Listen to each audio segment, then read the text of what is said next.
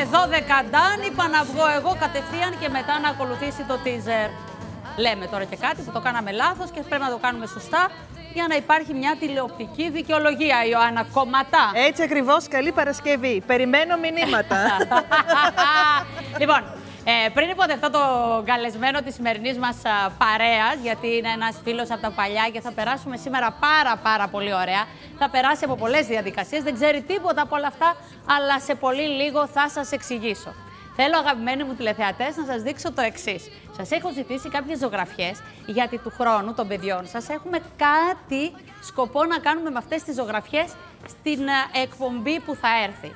Ε, έχουν ήδη- ήδη αρχίσει και έρχονται οι πρώτες, Δραγουμάνου 58 στο Ήλιον και θέλω να σας δείξω κάποιες από αυτές. Ειλικρινά, πέρασα πολύ ωραία με αυτό το χαρτοκούτι που ήρθε και το ζωγράφισε ο μικρός Ιάκωβος, ειλικρινά, και γράφει αλήθειες με τη Ζήνα, πίσω είναι από καφέδες, μπροστά ζωγράφισε ο Ιάκωβος. Ανακύκλωση, δεν πάει- μπαίνω στον καλεσμένο ακόμη. Λοιπόν, τώρα, η Ραφαέλα ε, ε, μου στέλνει να βάλουμε φρούτα στη διατροφή μας. Καταπληκτικό. Κοίταξε να δεις πώς δένουν με τον καλεσμένο μας, διότι μιλάει και εδώ για βιότοπο. Ο βιότοπος Αγίου Μάμα Χαλκιδικής, παρακαλώ. Η Ραφαέλα, όπως σας είπα. Ενόργανη το άθλημά μου. Καταπληκτικές ζωγραφιές, παιδιά, ειλικρινά. Κοιτάξτε εδώ.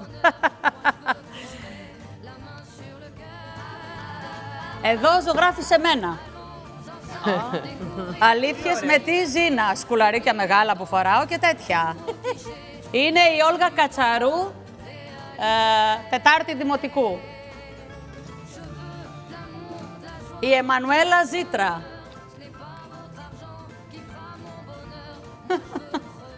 Τι ζωγραφίζουν τα παιδιά. Εντάξει, αυτό το μπλε της θάλασσας με έστειλε αδιάβαστη. Διακοπές. Διακοπές. Συμμετρίες, αρμονία στα χρώματα. Εδώ είμαι πάλι εγώ. καλό, καλό μεσημέρι. τα χέρια που τα κάνω και έτσι. Λοιπόν, και αυτό είναι από τη Γουριώτη Ευδοξία, είναι 11 χρονών, πηγαίνει στην 5η Δημοτικού, μένει στη Λαμία, περιοχή Νέα Πολιτεία. Περιμένουμε κι άλλες λοιπόν και αυτές θα δείτε που θα βρουν το χώρο τους εδώ. Τώρα, επειδή στην παρέα μου είναι ένας άνθρωπος που εκτιμώ βαθιά και χρόνια τώρα, εγώ δεν ξέρω, πο- ε, λέω, ρωτήστε τον σας παρακαλώ, πώς θέλει να τον προσφωνήσω, γιατί πραγματικά για μένα ο Γιώργος Καραμέρος είναι φίλος, μετά δημοσιογράφος και μετά αντιπεριφερειάρχης Αττικής. Ευχαριστώ πολύ. Ευχαριστώ πολύ. Άννα. Είστε καλά. Γιώργο, χαίρομαι πάρα πολύ που θα Και τα εγώ, Ζήνα πω. μου, καλώς σας βρήκα. Καλή... Λοιπόν. Καλό μεσημέρι και στους συναδέλφους όλους. Επειδή λοιπόν μετά θα έρθει εδώ ένας καλεσμένος για σένα έκπληξη. Θέλω να μου Ω. γράψεις αυτό το Στην χαρτάκι. τηλεόραση, ε, θυμάμαι που έλεγες ότι στην τηλεόραση δεν υπάρχουν εκπλήξεις. Ε, εδώ τώρα όμως είναι έκπληξη. Εντάξει. Γράψε λοιπόν ποιος πιστεύεις ότι μπορεί να είναι και θα το ανοίξω πριν μπει η έκπληξη. Θα το γράψω, ναι. Δεν θα το δείξουμε, θα είναι έκπληξη. Μέχρι να πάμε λοιπόν, γιατί με- εκεί μετά τη μία που θα κάτσουμε στους καναπέδες και θα συζητήσουμε, εκεί θα μπει μια έκπληξη για τον Γιώργο. Δεν ξέρει τίποτα Το πραγματικά. έχω βρει ήδη, πιστεύω. Ε, α, κράτησε το εκεί. Κρατάω, έτσι. Να. Ε, και θα δούμε αν το έχεις βρει ή δεν το έχεις βρει. Πάντως, η Κατερίνα Σουλιώτη έχει στο βίντεο τη γυναίκα σου και άλλα πρόσωπα που θα δούμε σε λίγο. Σωστά; Αυτά ναι, δεν είναι έκπληξη, είναι οργανωμένα. Τα ξέρεις. Κατερίνα. Ναι, ναι. Ωραία. Δεν αφορά σε αυτά τα πρόσωπα λοιπόν. Μπορεί έχω όμως γράψει, να, εδώ. Το βάζω ένα στην από τσέπη, τα πρόσεξε. εμπλεκόμενα πρόσωπα. Περίμενε, το βάζεις εκεί. Ε, δεν το αλλάζεις. Όχι, όχι. Έχεις φραγίδα. Ένα από τα εμπλεκόμενα πρόσωπα Ε, μπορεί να είναι που είναι το βίντεο. ένα από τα εμπλεκόμενα πρόσωπα στο βίντεο να είναι. ε, Κατάλαβες; η γιορτή στο σχολείο. δεν ξέρεις; Εντάξει. Λοιπόν, σε αυτό το σημείο, αγαπημένοι μου Πριν τηλεθεατές, ξεκινήσεις, Ζήνα μου, μπορώ να έχω λίγο το λόγο προσωπικού. Βεβαίως. Ε, κα- επειδή κάναμε λόγο για την αυτοκριτική, ε, πρέπει να πω ότι ε, χθες διέπραξα μια κορυφαία δημοσιογραφική αθλειότητα. Δεν σου είπα τίποτα, σε ευνηδιάζω Ε, γιατί από εδώ ήταν που μεταφέραμε, όπως και στον μπλόκο, ότι η μητέρα εξετάζεται ως ε, ύποπτη κακοποίηση των ε, παιδιών. Λόγω δικής μου αβελτηρίας, δημοσιογραφική βλακείας δηλαδή, ηλικιότητας, πείτε το όπως θέλετε, μετέφρασα διαφορετικά τα συμφραζόμενα από όλα όσα ε, μου είπαν οι αστυνομικές πηγές. Ζητώ συγγνώμη για το, γιατί ξέρεις, η ώρα της απολογίας και της ομολογίας είναι πάντα δύσκολη για κάθε άνθρωπο. Η πραγματικότητα είναι ότι είπαμε ότι η μητέρα αυτή ε, αντιμετωπίζει πολύ σοβαρά ψυχολογικά προβλήματα. Η πραγματικότητα είναι λοιπόν ότι η εκτίμηση των αστυνομικών είναι... Στην περίπτωση της φθιότητας μιλάμε. Στην περίπτωση της φθιότητας, ότι και αυτή ήταν θύμα στην παιδική της ηλικία από τον πατέρα της, με αποτέλεσμα τα όποια προβλήματα είχε να επιδεινωθούν. Οπότε, η δική μου Αυτή η γυναίκα πάντως μιλάει στη Γιώτα Κυπουρού, έτσι, σε λίγο. Οπότε, η δική μου ε, δημοσιογραφική αθλειότητα συνίσταται σε δύο πράγματα. Πρώτον, αυτή καθ' αυτή σε εισαγωγικά αποκάλυψη. Και δεύτερον, και το κυριότερο, ότι αφορά έναν άνθρωπο ο οποίος δεν μπορεί να υπερασπιστεί τη ζωή του, ε, δεν μπορεί να υπερασπιστεί την τη, τιμή και την υπόλοιψή του και ένας άνθρωπος που ενδεχομένως, αν ισχύουν αυτά τα οποία ε, λένε οι αστυνομικοί, εκτιμούν οι αστυνομικοί, είχε πέσει θύμα σεξουαλικής κακοποίησης ε, όταν ήταν παιδί. Συνεπώς, ε, μέσα... σεξουαλικής κακοποίησης από ποιον; Από τον δικηγόρο πατέρα της. Αυτή είναι η εκτίμηση, γι' αυτό το λόγο ε, και επιβαρύνθηκε ε, αφόρητα και η ψυχολογία της ε, και νοητική της ε, κατάσταση. Το θέμα γίνεται ακόμη πιο τραγικό όμως, γιατί εδώ τώρα, εγώ χθες ε, βγάζοντας τη σύντροφο του άντρα για πολλά χρόνια, είπα ότι σε αυτή την περίπτωση δεν ξέρουμε ακριβώς τι συμβαίνει σε καμιά περίπτωση, γιατί εκείνη έλεγε πως ε, τα παιδιά που είχαν μαζί και μάλιστα η κόρη που μας μίλησε στο τηλέφωνο κοιμόταν μαζί του και στο ίδιο κρεβάτι και δεν είχε υποπέσει σε καμιά τέτοια πράξη. Επαναλαμβάνω, για, τα, για το εγγονάκι, το κοριτσάκι είναι ε, και θα πούμε ενδεχομένως στην πορεία και άλλα πράγματα για το τι φαίνεται να προκύπτει. Ε, η αστυνομική είναι πεπισμένη. Τα περιγράφει τόσο αναλυτικά και τόσο παραστατικά το κοριτσάκι στην ε, παιδοψυχολόγο που δεν αφήνει κανένα ίχνος αμφιβολίας. Ε, επαναλαμβάνω Εγώ όμως... πάντως συνεχίζω να αμφιβάλλω ακόμη, έτσι θέλω να το πω για να Γιώργο είμαι μου, και εγώ απλά έτσι. στους αστυνομικούς δεν ήταν τόσο αναλυτικό το κοριτσάκι. Στην παιδοψυχολόγο. Ναι, δεν μίλησε. στους Παιδοψυχολόγο, ναι. αστυνομικούς. Δεν μίλησε. Με, με τους αστυνομικούς δεν μίλησε καθόλου, από ό,τι ξέρω. Μπορεί να κάνω λάθος και σε αυτό. Ε, εγώ όμως οφείλω να ζητήσω δημόσια συγγνώμη από αυτόν τον άνθρωπο, έστω και αν δεν καταλαβαίνει, γιατί της έχω κάνει πάρα πολύ μεγάλο κακό και ε, συγκαταλέγω και τον εαυτό μου μεταξύ ενδεχομένως αυτών που κάποια στιγμή ασέλγησαν σε βάρος της, συγκαταλέγω σήμερα τον εαυτό μου μεταξύ αυτών των ανθρώπων. Ε, όχι, μωρέ Γιώργο, τώρα. Είναι- μην- είναι ασέλγεια- Είναι, είναι υπερβολικό ασ- αυτό είναι- το που όχι, κάνεις, εντάξει. αλλά δεν έχει σχέση. Γιατί από τη στιγμή που την καλούν οι αστυνομικοί σε αυτό το κομμάτι και ενδεχομένως ε, γιατί στην Γιώτα μιλάει πολύ καθαρά, την βρήκε στο σπίτι, μίλησε, δεν έχει να κάνει αυτό το κομμάτι. Ε, δεν ξέρουμε τι συμβαίνει με τα παιδιά. Τα παιδιά, η κόρη έχει καταθέσει το 7χρονο κορίτσι. Ε, κομμάτι αυτής της κατάθεσης θα μας πει η Γιώτα σε λίγο. Ε, μιλάνε εκεί και άλλοι άνθρωποι που τους έχει βρει η Γιώτα από το ρεπορτάζ που πήγε. Εμείς δεν έχουμε πει καν την περιοχή, ενώ σε όλα τα κανάλια παίζει και η περιοχή. Έτσι κι αλλιώς είναι μεγάλη πόλη, δεν είναι κάτι μικρό. Απλώς εμείς από χθες το ορίσαμε αυτό ως φθιότητα, γιατί ας πούμε εκεί που μένει μπορεί οι, άνθρω... οι δικηγόροι να είναι 100, οπότε είναι ένας από τους 100. Ενώ αν βάλεις όλο τον νόμο μαζί, α, όλο αυτό α, γιγαντώνεται και μεγαλώνει. Πάντως, Γιώτα μου, εσύ πήγες χθες. Ρούλα μου, έλα μέσα, παίρνατε. Δεν σε Ζήνα βλέπω μου, ότι είσαι σε συγγνώμη, δεν αναμονή. θέλω να υπερασπιστώ τον Γιώργο Καραϊβάζ. Προς Θεού, κάνει χρόνια το αστυνομικό ρεπορτάζ, το ξέρει καλύτερα από τον καθένα. Αλλά ίσως επειδή το παιδάκι στην κατάθεσή του που την έχουμε αποκλειστικά εμπλέκει τη μητέρα του, λέγοντας ότι το είχε πει στη μητέρα του και γνώριζε η μητέρα τα όσα συνέβαιναν από τον παππού, ίσως ε, με αυτόν τον τρόπο να μεταφέρθηκαν οι πληροφορίες για τη μητέρα. Όχι, δεν είναι.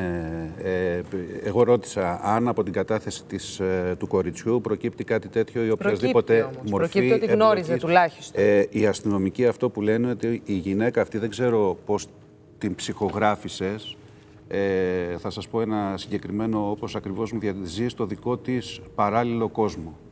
Ναι. Έτσι. Θα την ακούσω. Δεν πάντως. έχει, δεν έχει συνείδηση και δεν έχει κατανόηση ε, αυτών που συμβαίνουν ε, δίπλα της.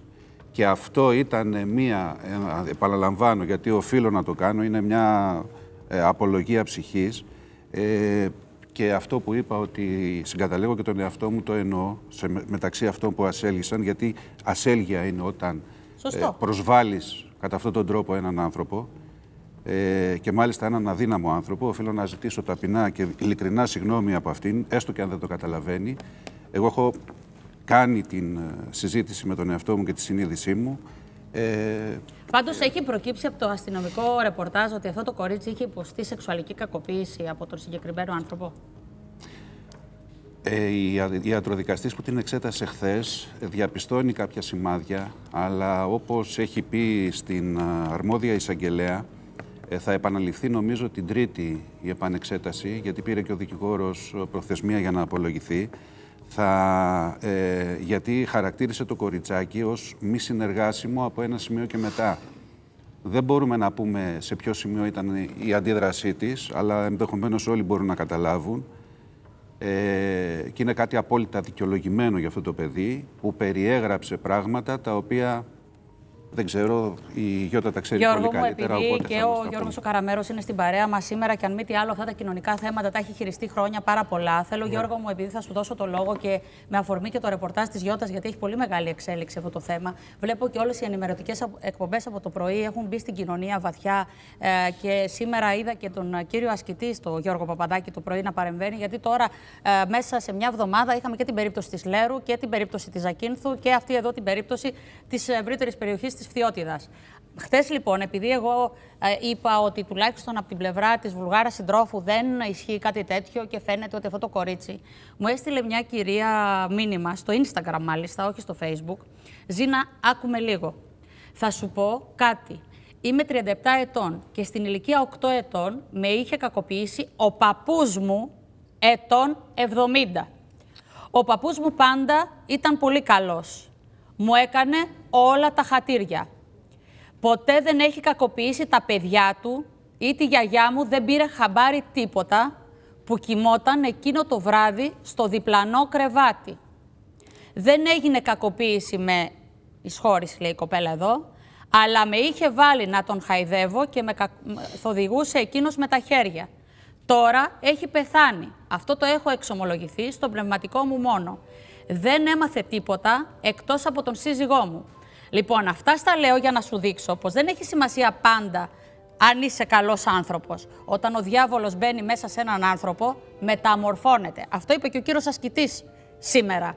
Αυτό με έχει κάνει τόσο επιφυλακτική με όλους για τα παιδιά μου. Ξέρεις γιατί δεν το είπα ποτέ; Γιατί νόμιζα πως έχω, ε, είχα κι εγώ μερίδιο ευθύνης και μάλιστα μεγάλο.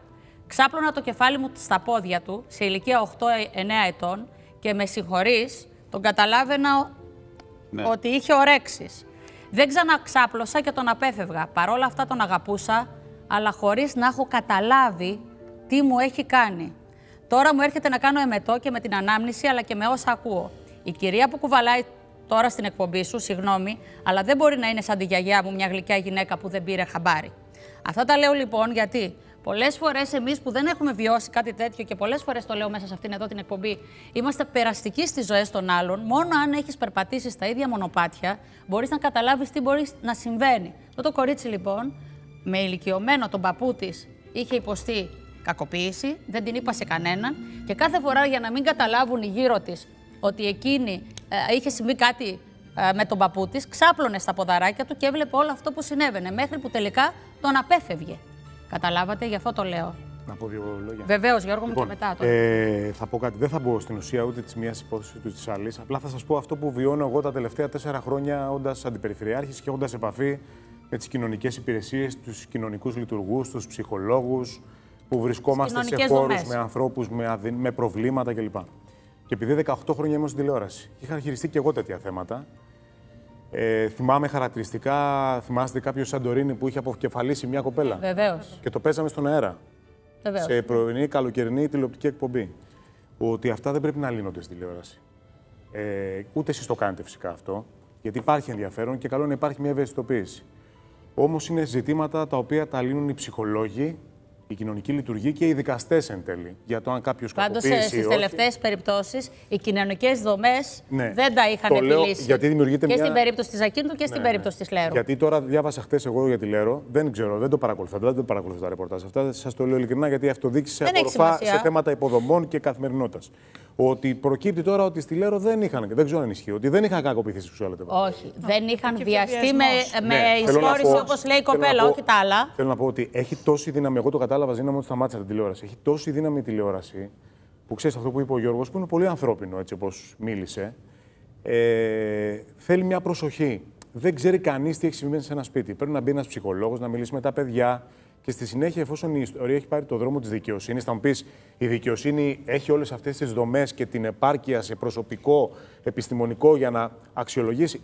Είναι θέμα Ένας της εισαγγελέας δικαιοσύνης. όμως δίνει μια εντολή σε ε, μια κοινωνική δομή για να κάνει το έργο της. Ναι. Όταν αυτή η κοινωνική δομή καθυστερεί, εκεί η τηλεόραση έχει το ρόλο της. Κοίταξε να σου πω κάτι. Ε, μπορεί να έχει καθυστερήσει, δεν ξέρω τι γίνει σε αυτές τις περιφέρειες. Θα σου πω μια ιστορία που είχαμε εμείς στην Αγία Παρασκευή. Την έχετε, δεν ξέρω αν την είχατε παίξει και σε ρεπορτάζ. Ε, γνωρίζαμε ότι σε έναν παράνομο οίκο ευγυρίας, μονάδα φροντίδας ηλικιωμένων, γυροκομείο όπως τα λένε, έτσι τα ξέρουν όλοι, υπήρχαν άνθρωποι οι οποίοι ήταν σε άθλιες συνθήκες. Μιλήσαμε με τον εισαγγελέα, μιλήσαμε με τον Υπουργό Υγείας, κάναμε τη μεταφορά των ανθρώπων ε, σε άλλα νοσοκομεία ή, ή ιδρύματα. Θέλω να σας πω ότι έρχονταν συγγενείς μέχρι να γίνει μεταφορά και μας έλεγαν, αφήναν ένα πατατάκι και λέγανε: Ξέρετε κάτι, δώστε του να φάει και ειδοποιήστε μου πού, το- πού θα τον πάτε μετά. Υπάρχει πολλή πόνο και πολλή εγκατάλειψη έξω στην κοινωνία. Αυτό είναι μια πραγματικότητα. Αυτό δεν σημαίνει Θέλει όμως όμως- ότι στο γυροκομείο έπρεπε να αφήνουν τα γεροντάκια φρόντιστα; Μα ήταν παράνομος. Επειδή, ήταν ναι, παράνομος ο επειδή μονάδας ο φροντίδας συγγενής του ηλικιωμένων. δίνει πατατάκι να Όχι, φάει. δεν κατάλαβες. Το λέω Ναι, ότι το- δεν ενδιαφέρθηκε καθόλου συγγενής. Το, το ξέρω. Ήρθε εκεί, τον παράτησε Α- και λέει: Δημερώστε μου. όταν- Απλώ εκεί που τον παράτησε πρέπει να το φροντίσουν το γεροντάκι. Εντάξει, Έτσι. Εγώ πιάστηκα από αυτά που είπε ο Γιώργος. Θέλει μία προσοχή ε, μέχρι να τελειώσει μια ιστορία, γιατί δεν ξέρεις τι ακριβώς έχει συμβεί. Ε, θα συμφωνήσω με αυτό που λες όταν χειρίζεσαι πολύ σωστά ε, το μέσο που λέγεται τηλεόραση και το ξέρεις πάρα πολύ καλά. Το έχεις υπηρετήσει και εσύ και εγώ και ο Γιώργος πάρα πολλά χρόνια. Αυτό που κατανοώ και βλέπω το τελευταίο διάστημα, βλέπω ότι α, υπάρχουν α, άνθρωποι που καταγγέλουν πια το γεγονός και αυτό, Καλό είναι α, αυτό που για ανοίγουν τα μένα στόματα. σημαίνει φως. Από Έτσι, τις γιατί- Ηνωμένες Πολιτείες και τους τοπιού έτσι, μέχρι μπράβο. μια τοπική Γιατί κοινωνία. για μένα αυτό είναι το σημαντικό. Ότι ενώ παλιά αυτή η γυναίκα που σήμερα είναι 40 χρονών και ο παππούς σε 8-9 ήταν 70, το έκρυβε, τώρα τουλάχιστον το μοιράζεται με μένα στο Instagram. Και έχει πολύ μεγάλη σημασία, Γιώργο μου, αυτό. Είναι και με σένα, επειδή το βλέπω ότι έχεις μοιραστεί και στο Instagram για τη γυναίκα σου κομμάτια, αρχίζουμε οι άνθρωποι και έχουμε μια εξωστρέφεια. Το οποίο είναι πολύ καλύτερο από το κλεινόμαστε στις κλειστές κοινωνίες και στις πόρτες τις δικές μας. Έχει και χαρακτηριστικά βέβαια δημόσιας ψυχοθεραπείας όλο αυτό. Και είναι το οποίο όμορφο. έχει άλλους κινδύνους. Εντάξει, για μένα είναι όμορφο. Πάντως, Συγγνώμη που μπήκα στο θέμα. Καλά έκανες, Γιώργο μου, γιατί έτσι νομίζω είναι ο πιο υγιής τηλεοπτικός διάλογος όταν οι άνθρωποι τα βάζουν κάτω σε ένα τραπέζι. Και αυτός είναι ο λόγος που συνήθως την πρώτη ώρα της εκπομπής, μιας και το συζητάμε τώρα δημόσια, καθόμαστε σε ένα τραπέζι όπως οι φίλοι κάθονται σε ένα τραπέζι και μετά καθόμαστε στους καναπέδες για να, γίνονται, ε, για να χωρίζεται η εκπομπή σε κομμάτια. Γιατί αν δεν το συζητούσαμε τώρα αυτό, ο καθένας εκεί απ' έξω το ξέρεις πως αντιλαμβάνεται αλλιώς Σωστά. ε, το κάθε κομμάτι. Δηλαδή, εγώ αυτό που είπε ο Γιώργος το θεωρώ υπερβολικό από την πλευρά του Γιώργου ότι είναι ασέλγεια σε αυτό το ε, κομμάτι και σε αυτό το κορίτσι. Όμως ο Γιώργος το θεωρεί έτσι. Όπως και οι τηλεθεατές το θεωρούν. Άλλος έρχεται από τη δική μου οπτική, άλλος από την πλευρά του Γιώργου. Η Γιώτα λοιπόν που έχει το ρεπορτάζ που πήγε χθε, θα ομολογήσω κάτι ε, που το ξέρω. Η Γιώτα είναι συγκλονισμένη από τη χθεσινή της περιήγηση εκεί. Δεν θα πει περισσότερα, αλλά πραγματικά θα δώσει μόνο εκείνα τα στοιχεία που έχει συγκεντρώσει από το ρεπορτάζ της. Ο καθένας όμως που πηγαίνει στο σημείο έχει μια εικόνα. Δεν το μεταφέρει πάντα, αλλά η εικόνα υπάρχει στην ψυχή και καταγράφεται. Έτσι δεν είναι, Γιώτα; Ζήνα καταγράφεται και δεν γίνεται να μην μεταφέρουμε και κάποια στοιχεία. Γιατί όταν βλέπεις τις πολύ κακές συνθήκες υγιεινής που επικρατούν στο συγκεκριμένο σπίτι που μεγάλωναν αυτά τα δύο παιδάκια, 7 και 9 ετών, όταν αντικρίζεις ε, μία μητέρα που και ψυχικά αλλά και σωματικά ε, έχει πάρα πολλά προβλήματα. Δηλαδή, τα προβλήματά της είναι ορατά και με το μάτι. Δεν χρειάζεται δηλαδή να εξεταστεί από κάποιον ειδικό, από κάποιον ψυχολόγο, προκειμένου να καταλήξει σε ένα συμπέρασμα. Γιατί εδώ δεν μιλάμε μόνο για νοητική στέρηση με βάση το ρεπορτάζ του Γιώργου Καραϊβάζ, αλλά η γυναίκα αυτή αντιμετωπίζει και άλλα πολύ σοβαρά προβλήματα. Οπότε εγώ θα αρκεστώ να πω ότι καλό είναι να περιμένουμε, να δούμε τι θα, τι θα δείξει η ιατροδικαστική εξέταση. Είναι πολύ σημαντικό να δούμε σε τι βαθμό κακοποιήθηκαν τα συγκεκριμένα παιδιά και αν κακοποιήθηκαν, όπως επίσης να έχουμε και τα απορίσματα της πραγματογνωμοσύνης των παιδοψυχολόγων. Και μετά στη συγκεκριμένη υπόθεση να βγάλουμε τα συμπεράσματά μας. Να μην Πάντως, εσύ και εσύ είσαι επιφυλακτική σε αυτό το θέμα, ναι. εάν συνέβη. Για να το πούμε στους τηλεθεατές. Ή πώς συνέβη. Ναι, δεν θα αφισβητήσω τον εισαγγελέα που σαφώς άσκησε ποινική δίωξη και για ε, βαρύτατα αδικήματα όπως για αποπλάνηση ανηλίκου με ασελγή πράξης και βιασμό και απολογείται για αυτά την ερχόμενη Τρίτη, ε, αλίμονο. Αλλά από εκεί και πέρα, επειδή ε, υπάρχει έτσι μια εικόνα της κατάστασης, καλό είναι να περιμένουμε, να μην βιαστούμε να βγάλουμε συμπεράσματα. Κατά οι αστυνομικοί, δεν ξέρω αν έχουμε τον χρόνο, δεν κρίνουν μόνο από την, ε, αυτά που τους είπε, το, είπε στην παιδοψυχολόγο το παιδάκι, κρίνουν και από τη στάση και το συμπεριφερισμό και του ίδιου του Ναι, σίγουρα. Παππού. Γι' αυτό το λέω ότι ο εισαγγελέας προφανώς Λέγανε ένα συγκεκριμένο παράδειγμα, γιατί έχουν βρεθεί σε παρόμοιες ε, καταγγελίες. Ε, είχαν ξαναφέρει κάποιον παππού στα γραφεία εκεί ε, την, ε, που κάνουν τις ανακρίσεις για ακριβώς τον ίδιο λόγο, έτσι, με ακριβώς το ίδιο κατηγορητήριο. Και κάποια στιγμή ο παππούς όταν άρχισε να αντιλαμβάνεται ότι τον κατηγορούσαν επί της ουσίας για ασέλγεια σε βάρος του εγγονιού, ε, σηκώθηκε όρθιος και τάσπασε, τα έκανε λίμπα. Είναι δυνατόν να λέτε για μένα αυτό το πράγμα; Είναι μιας μορφής αντίδραση. Εδώ έχουμε μια εντελώς... Απάθεια. Απάθεια, εντελώς. Μια απάθεια και αυτό το οποίο είπαμε χθες ότι το έμπλεξα τώρα το επαναλαμβάνει διαρκώς και ρωτάει τους αστυνομικούς, λέτε πως έχω μπλέξει. Αυτό. Ενδεχομένως να δείχνει και αυτό κάτι. Ήταν ένας άνθρωπος της θρησκείας, λένε ας πούμε, οι άνθρωποι που τον γνωρίζουν και επειδή έτσι μπήκαμε και στο προφίλ του στο Facebook, είναι όλο εικόνες. Ε, Διαφημίσεις και επαναρχόμαστε με όλα τα στοιχεία, καθώς και την περίπτωση αυτή που ο 37χρονο βρέθηκε θαμένο εκεί στις αίρες ε, σε μια αυλή ενός σπιτιού. Και σε αυτό το θέμα μιλούν η γιαγιά του και οι οικογενειακοί φίλοι στην Ευγενία και τα λένε όλα αναλυτικά. Βέβαια είναι μια επιτυχία της Αγγελικής Νικολούλη που οδηγήθηκε εκεί μέσα από το φως του τούνελ και που φαντάζομαι πως σήμερα το βράδυ θα έχει τις εξέλιξεις διαφημίσεις και επαναρχόμαστε.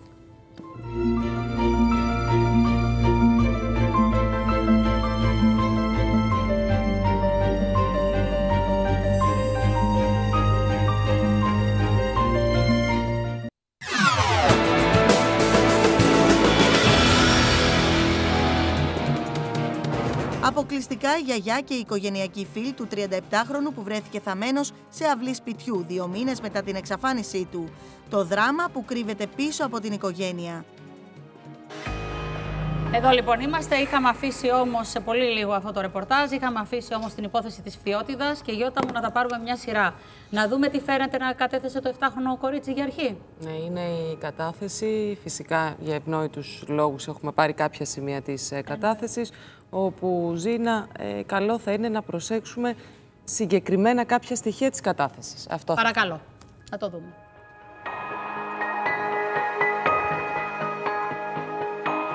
Ο παππούς της κάνει κάτι που δεν της αρέσει. Όταν είναι εξαπλωμένη στο κρεβάτι, ο παππούς πηγαίνει από πάνω της και τη χτυπάει στην πλάτη. Προσπαθεί να του ξεφύγει, αλλά δεν προλαβαίνει πάντα. Την πιάνει και βάζει το στο. Δεν της αρέσει. Τσούζει και πονάει. Φωνάζει να σταματήσει. Ο παππούς το έχει κάνει πολλές φορές. Τελευταία φορά το έκανε τη Δευτέρα. Έχει δει τον παππού να πηγαίνει και στο κρεβάτι του αδελφού της. Το έχει πει και στη μαμά της. Ο παππούς της είπε πως αν μιλήσει θα την πάνε σε ορφανοτροφείο. Αυτά φέρεται να κατέθεσε το 7χρονο κορίτσι και η Γιώτα μου πριν να δούμε τον Περιφερειακό Διευθυντή Πρωτοβάθμιας και Δευτεροβάθμιας Εκπαίδευσης τεράστια Ελλάδας, που είναι πολύ σημαντικό να τον ακούσουμε, όπως και το δικηγόρο του κατηγορούμενου. Θέλεις να ακούσουμε πρώτα τη μητέρα των παιδιών; Να την ακούσουμε, Ζήνα, μία μητέρα που όπως είπαμε είναι σε μία άσχημη κατάσταση ψυχολογικά. Ε, και όχι λόγω του συμβάτος, δηλαδή ε, λόγω του ότι ο πατέρας αντιμετωπίζει αυτές τις κατηγορίες ε, Χρειάζεται βοήθεια. Νιώθει πιεσμένη. Νιώθει πιεσμένη, ναι. Παρακαλώ να την ακούσουμε. Είστε η μητέρα των δύο παιδιών, 7 και 9 ναι. ετών, ένα αγοράκι και ένα κοριτσάκι. Ο παππούς τους και πατέρας σας ναι. κατηγορείται ε, ότι τα κακοποιούσε. Όχι, αυτό Μένετε όλοι είναι μαζί ψέματα. σε ένα σπίτι. Τι να σας πω, είμαι συγκλονισμένη, δεν ξέρω τι να πω, δεν ξέρω. Είναι πε- πε- πε- δε- κρίμα όμως, κρίμα, πολύ κρίμα. Κρίμα για τα δύο παιδάκια. Ναι. Μένετε όλοι μαζί σε αυτό το σπίτι. Εσείς, τα δυο σας παιδάκια, ο πατέρας σας. Είχατε δει ποτέ να τους συμπεριφέρετε Ναι. Όχι, άσχημα, όχι, όχι, κάποια όχι, όχι, όχι, όχι. βίαιη συμπεριφορά Όχι, προς τα όχι, παιδιά όχι, όχι, όχι. από την πλευρά του πατέρα όχι, σας, όχι, τίποτα; όχι, τίποτα, τίποτα. Πώς έγινε αυτή η καταγγελία; Δεν ξέρω να σας πω. Μάλλον η δασκάλα. Παραπονέθηκε η κόρη σας ότι είχε ένα πόνο στην περιοχή των γενετικών της οργάνων, ότι πονούσε Δεν λιγάκι. ξέρω. Και έτσι ενημερώθηκε η εισαγγελία ε, και η αστυνομία. Εσάς, ως παιδί σας έκανε παράπονο ότι όχι, πονούσες όχι, στην όχι, περιοχή όχι, των όχι, γενετικών τίποτα, όχι, οργάνων; όχι, όχι. Τίποτα, ποτέ; Τίποτα, ναι. Ότι ο παππούς ε, Όχι, ήταν όχι, βίαιος, όχι, όχι, περίεργος όχι, όχι. μαζί της, της Όχι, έκανε όχι. έτσι πράγματα Όχι, που τον την αγαπάει φέρανε τον σε παππού. δύσκολη θέση. Τον αγαπάει τον παππού. Το κοριτσάκι είναι 7 ετών. Ναι, Μικρότερη. μικρότερη, ναι. Ποια ήταν η σχέση που είχε με τον παππού της; Καλή, Καθημερινά εδώ καλή, στο καλή, σπίτι. καλή, καλή. Δηλαδή, Ε, τον αγαπάει τον παππού. Τον προσέχει, το φωνάζει. ο παππούς έκανε μπάνιο στα παιδιά κάποιες φορές; Όχι, δασκάλα τα έκανε. Η γυναίκα που είχατε εδώ, Ναι, που είχατε ναι, πάρει ναι, για να ναι, ναι, ναι. φροντίζει Ναι, ναι, τα ναι, παιδιά. ναι. Ε, έμενε μαζί σας η Ναι. δασκάλα; Ερχότανε κάθε μέρα. Ερχόταν το πρωί και έφευγε αργά το Ναι, ναι, απόγευμα; ναι. Και τι έκανε στο σπίτι; Τι δουλειές Έκανε έκανε; μάθημα στα παιδιά. Πότε έφυγε από το σπίτι η συγκεκριμένη γυναίκα; Έχει τώρα λίγο καιρό. Έφυγε με καλό τρόπο, τη ξέρω να σας ανακοινώσατε πω, ότι ναι, σταματάτε πλέον Ναι, με τη συνεργασία σας. Τι της είπατε; Δεν ξέρω να σας πω. Ο πατέρας σας αποφάσισε Ναι, ναι, να ναι, ναι, σταματήσει ναι, να ναι. εργάζεται πλέον, Ναι. να κάνει μάθημα στα παιδιά. Ναι. Γενικά τι άνθρωπος είναι ο πατέρας σας; Καλός, Ή- καλός, γιατί αυτή καλός. τη στιγμή αντιμετωπίζει πολύ σοβαρές κατηγορίες. Ναι, ναι, ναι. Τι να σας πω, δεν ξέρω. Απέναντι σας πώς ήταν, είχατε καλές σχέσεις; Ναι, καλές, ναι, ναι, ναι. Με τον αδελφό σας; Ναι, καλές έχουμε. Είναι απάνω τώρα. Ο άντρας σας πού βρίσκεται; Είναι στο σπίτι πέρα. Δεν μένετε μαζί με τον άντρα σας; Όχι, όχι. Μένετε σε χωριστά Ναι. σπίτια; Τα παιδάκια τον βλέπανε τον πατέρα ναι, τους; τον βλέπουνε, ναι. Κάθε πότε τον βλέπουν. Ε, κάθε όποτε μπορεί έρχεται. Εσάς η αστυνομία σας φώναξε να καταθέσετε; όχι. Δεν έχετε καταθέσει στην αστυνομία ή Όχι, δεν ήρθαν όχι. αστυνομικοί εδώ να σας όχι, πάρουν όχι, κατάθεση; δεν ήρθανε, ναι, δεν ήρθανε. Όχι. Είχατε δει στην κόρη σας, γιατί είναι το παιδί σας, Ναι. ε, κάποια σημάδια περίεργα Όχι, στο όχι, σωματάκι όχι, της; όχι, όχι, όχι, όχι. Ούτε στο μικρό τίποτα; Ούτε, ούτε, ούτε. Μπάνιο κάνατε εσείς τα Ναι, παιδιά ναι, σας; ναι. Και δεν είχατε δει ποτέ κάτι; Όχι, τίποτα, δεν σας τίποτα. είχε παραπονεθεί ποτέ ότι Όχι, όχι, πονούσε όχι, κάπου. τίποτα, τίποτα, τίποτα. Τίποτα, ποτέ; Ναι. Τη σχέση που είχε με την ε, γυναίκα από την ε, Βουλγαρία 16 χρόνια τώρα, τη γνωρίζετε; Όχι, όχι, όχι, όχι. Δεν γνωρίζετε ότι έχει σχέση με μια Όχι, γυναίκα όχι, από όχι, την Βουλγαρία 16 χρόνια; Όχι, όχι. Δεν την έχετε γνωρίσει ποτέ; Όχι, όχι. Τι έχετε να πείτε για αυτόν τον άνθρωπο που είναι ο πατέρας σας; Είναι καλός, ναι. Σας βλέπω, είστε πολύ στενοχωρημένοι. Είμαι, ναι. Είμαι, είμαι. Τα παιδάκια σας πού βρίσκονται τώρα, σας Στο νοσοκομείο είναι και τα δυο. Εξετάζονται. Εσείς γιατί δεν είστε μαζί τους, γιατί δεν πήγατε από Δεν εκεί; πήγα, δεν πήγα. Τα, τα έχει πάρει η αστυνομία τα Ναι, παιδάκια. ναι, ναι, Και ναι. σας είπα να μείνετε εδώ. Ναι, ναι, ναι. Ε, πάμε να ακούσουμε τι σου λέει ο Περιφερειακός Διευθυντής Δευτεροβάθμιας Εκπαίδευσης και ο κύριος Κρούπης, δικηγόρος του κατηγορούμενου. Ναι. Ε, Ε, Δύο πολύ σημαντικά πράγματα, Ζήνα. Λένε ο Περιφερειακός Διευθυντής λέει ότι η πληροφορία ήρθε από τη γειτονιά, δηλαδή έφτασε στο σχολείο από τη γειτονιά. Κάποιος γείτονας ειδοποίησε τον ε, διευθυντή, είναι πολύ σημαντικό. Και ο κύριος Κρούπης. Ε, Σημαντικό τονίζει- όμως ότι έγινε από Βέβαια, γείτονα. έτσι. βέβαια, βέβαια. Γιατί μέχρι τώρα λέμε για τα κλειστά στόματα και τα κλειστά μάτια και αυτιά στη γειτονιά. Δηλαδή τώρα τουλάχιστον ε, βλέπουμε μια διαφορετική συμπεριφορά. Και ο δικηγόρος του κατηγορούμενου, ο κύριος Κρούπης, ε, λέει πως το όποιο στοιχείο υπάρχει ε, είναι από την κατάθεση του κοριτσιού. Δεν υπάρχει κάτι, τίποτα άλλο που να εμπλέκει τον εντολέα του, ο οποίος κατηγορηματικά αρνείται τις κατηγορίες. Γι' αυτό το λόγο γράψανε και οι αστυνομικοί στη δικογραφία ότι η καταγγελία έγινε από τον ο, διευθυντή του Δημοτικού Σχολείου ε, γιατί υπήρχε λόγος προστασίας αυτού του συγκεκριμένου ανθρώπου. Το βέβαιο και το ενθαρρυντικό είναι ότι μετά από όλα τα λεπάλληλα κρούσματα τα οποία είχαμε στο παρελθόν ευτυχώς υπάρχει μια αφύπνιση της, ε, του κόσμου ε, και προσέχουν και παρατηρούν ή αρχίζουν και εξομολογούνται πράγματα τα οποία είχαν, είχαν υποπέσει στην αντίληψή τους αλλά τα είχαν καταχωνιασμένα Μάλιστα. στην ψυχή τους. Να δούμε λοιπόν. Η στάση του εντολέα μου είναι αρνητική πέρα για πέρα. Οι υποθέσεις αυτές πάντα έχουν ένα κομμάτι το οποίο είναι πολύ σκοτεινό. Εδώ υπάρχει μόνον η κατάθεση της μικρής. Οι καταθέσεις των παιδιών δεν είναι τόσο αξιόπιστες. Βεβαίως υπήρχε και ο παιδοψυχολόγος και εκεί πρέπει να επεμβαίνουν οι ειδικοί. Δηλαδή θα περιμένουμε και την ιατροδικαστική έκθεση που εκεί ε, θα δούμε προς τα που γέρνει η πλάστικα. Κατηγορείται μόνο για το 7χρονο κορίτσι. Ακριβώς. Και όχι όπως γράφτηκε για κακοποίηση των δύο ανήλικων παιδιών. Το δεύτερο παιδί είναι παιδί με ειδικές ανάγκες. Πηγαίνει στο σχολείο τον ΑΜΕΑ. Άρα μόνο για το κοριτσάκι. Οι κατηγορίες... Μόνο για το κοριτσάκι το οποίο και αυτό είχε και αυτό κάποια προβλήματα. Εξετάστηκε και πριν από δύο-τρεις μήνες από Επιτροπή και η Επιτροπή εκείνη απάντησε ότι το παιδί είναι μια χαρά, δεν είναι κακοποιημένο. Οι κατηγορίες είναι δύο, αποπλάνηση ανηλίκο με ασυλγής πράξης και εδώ επειδή βεβαίως βία κατ' εμέ δεν υπήρξε, ε, κατηγορείται και για βιασμό. Τι πιστεύετε ότι έχει συμβεί στην προκειμένη περίπτωση γιατί είναι μια υπόθεση που σοκάρει όταν αφορά σε κακοποίηση μέσα στο σπίτι από τους ίδιους τους γονείς. Όπως το γνωρίζουν όλοι και οι συνάδελφοι, είναι ένας αξιοσέβαστος άνθρωπος, εργάζονταν, μπορεί να μην ήταν πλούσιος, είχε πολλές ατυχίες στη ζωή του, έχασε τη γυναίκα του. Κάποιοι άνθρωποι από το περιβάλλον του εντολέα σας υποστήριξαν ότι μπορεί όλο αυτό να το έχει προκαλέσει και ένας άνθρωπος που εργαζόταν μέσα στο σπίτι και σταμάτησε έτσι κάπως απότομα η συνεργασία τους και ίσως να έδρασε ως αντίπεινα. Εδώ υπάρχουν πολλά θέματα τα οποία μπορεί να προκάλεσαν το γεγονός αυτό. Οι συνθήκες στο σπίτι όμως ε, είναι πραγματικά ε, κακές. ναι, είναι κακές, να μην πω σάφλιες και μπορεί να συνετέλεσε και το γεγονός αυτό. Κύριε Δημητρίου, να μας πείτε δύο λόγια για το πώς έφτασε η καταγγελία σε εσάς, πώς ενήργησε το σχολείο και πώς ε, αυτή τη φορά τουλάχιστον τα αντανακλαστικά της κοινωνίας ήταν άμεσα.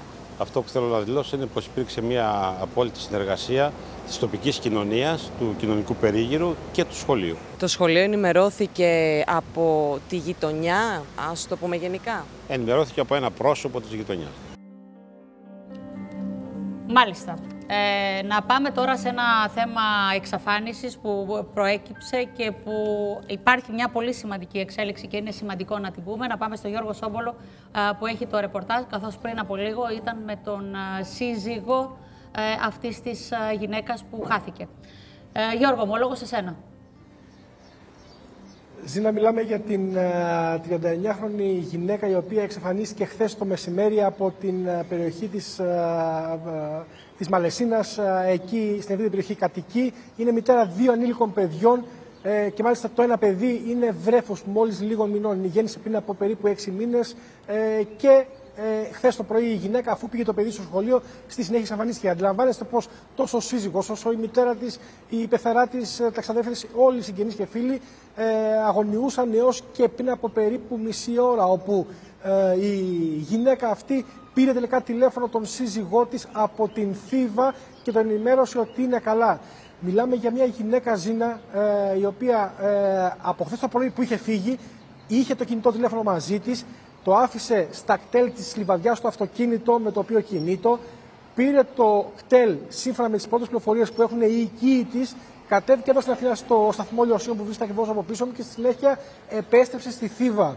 Ε, σε αυτή τη διαδρομή, όλες αυτές τις ώρες, χτύπαγε το τηλέφωνο η ίδια είτε το σήκωνε και δεν μίλαγε, είτε δεν το σήκωνε. Καταλαβαίνετε την αγωνία των, των οικείων της. Και είμαστε εδώ πέρα από το πρωί μαζί με τον σύζυγό τη, ο οποίος ενημερώθηκε από την αστυνομία πως εδώ ήταν το τελευταίο στίγμα της της συζύγου του. Είχε έρθει εδώ πέρα μαζί με την αδερφή του και μια ξαδέρφη της κοπέλας που μένει εδώ στην Αθήνα για να ψάξουν να βρουν από τις κάμερες, να ρωτήσουν κόσμο τι συνέβη, αν την είδαν ή όχι.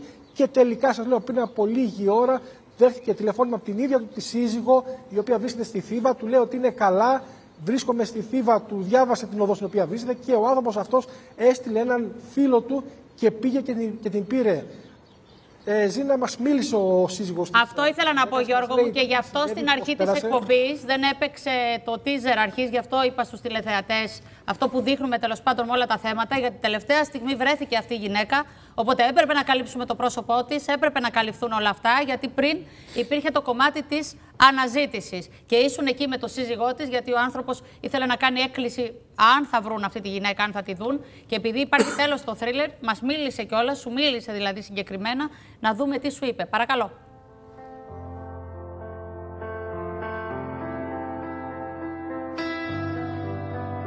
Βρέθηκε τελικά η σύζυγός σας. Λοιπόν, ναι, παιδιά, ενημερώνω τους πάντες ότι πριν λίγο μίλησα επιτέλους με την ίδια. Μου σήκωσε το τηλέφωνο μετά από τόσες προσπάθειες που κάναμε όλοι και όλες μας χθες το, από το πρωί μέχρι και αργά το βράδυ. Είναι καλά στην υγεία της, βρέθηκε, είναι στη Θήβα, την έχει παραλάβει αυτή τη στιγμή και είναι μαζί με, τον, με το αφεντικό μου τον κύριο Ρόκο Δημήτριο και τον ευχαριστώ πάρα πολύ. Όπως θέλω να ευχαριστήσω όλους που με βοήθησαν, φίλους και γνωστούς από Μαλεσίνα, από Λάριμνα, από Μαρτίνο και οποιουσδήποτε άλλους και από Αθήνα, μάλλον και από Αθήνα όπως με βοηθήσανε και τα παιδιά. Να ευχαριστήσω το Στάρ, τα παιδιά ήταν από το πρωί εδώ μαζί μου στο σταθμό και κάναμε όλες τις ενέργειες, ό,τι χρειάστηκα με βοηθήσαν, να τους ευχαριστήσω πάρα πολύ όλους. Ευχαριστώ πάρα πολύ. Πιστεύω όλα να πάνε καλά. Φαντάζομαι ότι ήταν δύσκολες οι ώρε, από χθες που έφυγε η γυναίκα σας. Όχι δύσκολες, ήταν τραγικά απελπιστικά δύσκολες. Δεν μπορείτε να καταλάβετε το τι έχουμε περάσει και να έχουμε δύο μικρά παιδιά πίσω. Και το μεταξύ, στον μεγάλο να καταλάβετε, το έχουμε πει ότι η μάνα του έχει πάει διήμερη διακοπές μάλλον στην Τίνο. Όχι ότι έχει εξαφανιστεί, γιατί δεν ξέρω πώς θα το πάρει το παιδί. Λοιπόν, πρέπει να φύγω, να πάω να την παραλάβω από τη Θήβα. Ευχαριστώ όλους και όλες. Λοιπόν, εδώ είμαστε αγαπημένοι μου τηλεθεατές. Τέλο αυτό το θρίλερ. Μπράβο λοιπόν, ε, ήμασταν εκεί. Γι' αυτό ήταν όλα αλλιώς οργανωμένα. Οπότε μπαίνουμε καθαρά ε, στο επόμενο περιεχόμενο της εκπομπής. Πάντως είναι ωραίο να ξέρεις πως κάτι που. Γι' αυτό είναι το ζωντανό πρόγραμμα, Γιώργο. Αυτό δεν σου λείπει, αυτή η ζωντάνια; Μου λείπει, μου λείπει και δεν βλέπω χειροκρότημα που βρέθηκε η γυναίκα. Είδε, τι είναι; έχει δίκιο όμως αυτό. Έχει δίκιο σε αυτό. Να χειροκροτήσουμε. Γιατί είναι αυτή η μαγεία της τηλεόρασης που όταν είσαι σε ένα θρίλερ της εξαφάνισης και το ψάχνεις και το λες και αυτό, λες που είναι και λες εκείνη την ώρα. Ε, σε αυτό είχε κατηγορηθεί και παλιότερα και η Αγγελική Νικολούλη που λέγανε εκεί γύρω στις δύο θα τον βρούνε που κλείνει η εκπομπή.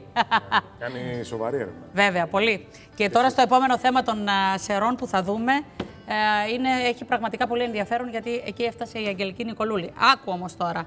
Γιατί τα λέμε να τα λέμε πόσα μηνύματα παίρνω την ίδια ε, στιγμή. Ζήνα μου σήμερα με το θέμα που έχει. Αυτό το γυαλάκι σου έχουμε πει ότι σου πάει αυτό το φοράς. Όχι, δεν βλέπω καλά. Α, Σταμάτα. Ε, όχι, όχι, δεν βλέπω.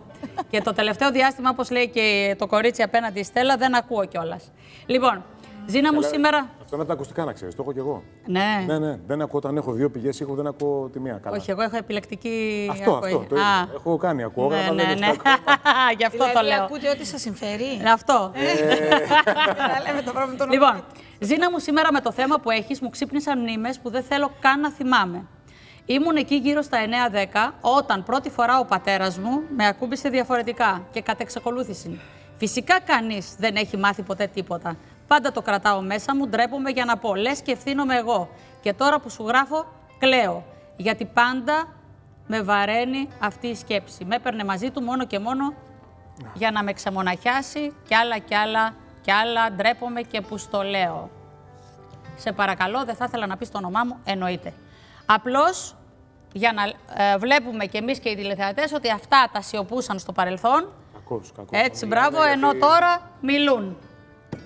Λοιπόν, πάμε να σας δείξουμε αγαπημένοι μου τηλεθεατές το θέμα των σερών. Έχουμε κάνει ένα χρονικό για να το δείτε γιατί αμέσως μετά στην Ευγενία μιλούν τόσο η γιαγιά όσο και οι οικογενειακοί φίλοι. Παρακαλώ.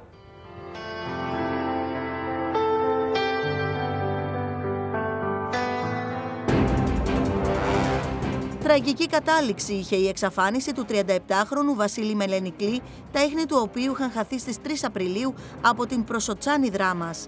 Ο άτυχος άνδρας εντοπίστηκε τελικά νεκρός και θαμένος στην αυλή ενός σπιτιού, στην αλιστρά της Ερών.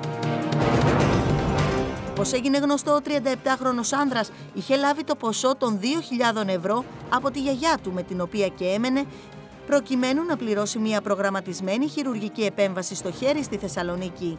Πριν πάει στη Θεσσαλονίκη ξεκίνησε από την Προποτσάνη μεταξύ για την Αλιστράτη. ωστόσο δεν έφτασε ποτέ στον προορισμό του για το χειρουργείο και έκτοτε σήμανε συναγερμός Silver Alert. Το άψυχο σώμα του 37χρονου εντοπίστηκε χθες και οι αστυνομικοί που έσπευσαν στο σημείο προχώρησαν στην εκταφή του πτώματος, ενώ αναμένεται να ανακρίνουν τα μέλη της οικογένειας που διαμένει στο σπίτι. Όπως έγινε γνωστό, πρόκειται για δύο αδέλφια, φίλους του άντρα και τη μητέρα τους. Τα παιδιά εδώ και μια δεκαετία δεν βγαίνανε έξω, δεν δουλεύανε, δεν κάνανε τίποτα. Πιο μπροστά δουλεύανε κανονικά, βγάζουν το νεροκάμετο. Μετά σταματήσαν, ας πούμε, δεν δουλεύαν γιατί έδεσαν, ε, ήταν χρήστες ε, ναρκωτικών, ας πούμε. Από ό,τι ξέρω πηγαίναν στην αστυνομία, παρουσιαζόταν κάθε 15, κάθε μήνα, δεν ξέρω ακριβώ πότε να πούμε. Δεν βγαίνουν έξω από το σπίτι, ήταν ε, χάλια. Ήταν ορφανά από πατέρα; Ναι, ήταν ορφανά από πατέρα. Η μητέρα τους τι δουλειά κάνει; Είναι καθαρίστρια στο γυμνάσιο. Η μητέρα του ήταν πολύ αξιόλογη κυρία, πάρα πολύ καλή, είχε μεγάλη στεναχώρια. Όσες φορές και την έβλεπα εγώ ήταν δακρυσμένη, γιατί ήξερε τα παιδιά της σε τι κατάσταση βρίσκονται. Αυτό το παιδί που έβλεπα έτσι ναι. κατά διαστήματα, εντάξει, ερχόταν εδώ πέρα στο χωριό, πήγαινε εκεί στο σπίτι τους, ε, μεταξύ κυκλοφορούσε. Ερχόταν, δεν ξέρω αν ήταν με μηχανάκι κάποιες φορές, αλλά και την τελευταία φορά τον έφερε ο ταξιτζής από την Προσοτσάνη στην Αλιστράτη και από εκεί χάθηκαν τα ύφη Το κουβάρι άρχισε να ξετυλίγεται όταν η ομάδα της Αγγελικής Νικολούλη, η οποία ασχολήθηκε με την υπόθεση, έφτασε στο σπίτι όπου βρέθηκε το πτώμα του άτυχου άνδρα, όταν ένας οδηγός ταξί ανέφερε στην εκπομπή της ότι είχε μεταφέρει το παιδί στην Αλιστράτη Σερών. Στι 11 Μαου η Αγγελική Νικολούλη είχε αναφερθεί στην εκπομπή της στην εξαφάνιση του 37χρονου Βασίλη. Να ανοίξω μια παρένθεση για να πούμε για τον Βασίλη το Μελενικλή, γιατί μας παίρνουν ακόμη και Γερμανία, από Γερμανία για το παιδί αυτό. Για πες μου στο δωρή. Έφυγε από το χωριό που ζει με τη γιαγιά του για να χειρουργηθεί σε κλινική στη Θεσσαλονίκη και από τότε αγνοείται. Είναι ο Βασίλης Μελενικλής, 37 χρόνων που εξαφανίστηκε την 3η 3 Απριλίου. Η Αγγελική Νικολούλη χθες μίλησε στο κεντρικό δελτίο ειδήσεων του Α. Ε, να σου πω ότι το τούνελ αναζητώντας τον αγνούμενο Βασίλη, ε, μια υπόθεση που κρύβει και μια τραγωδία από πίσω, ε, φοβερή, έφτασε εκεί στην Αλιστράτη και πραγματικά από πόρτα σε πόρτα εντοπίσαμε το σπίτι της παρέας που εκείνο το απόγευμα που χάθηκε θα συναντούσε.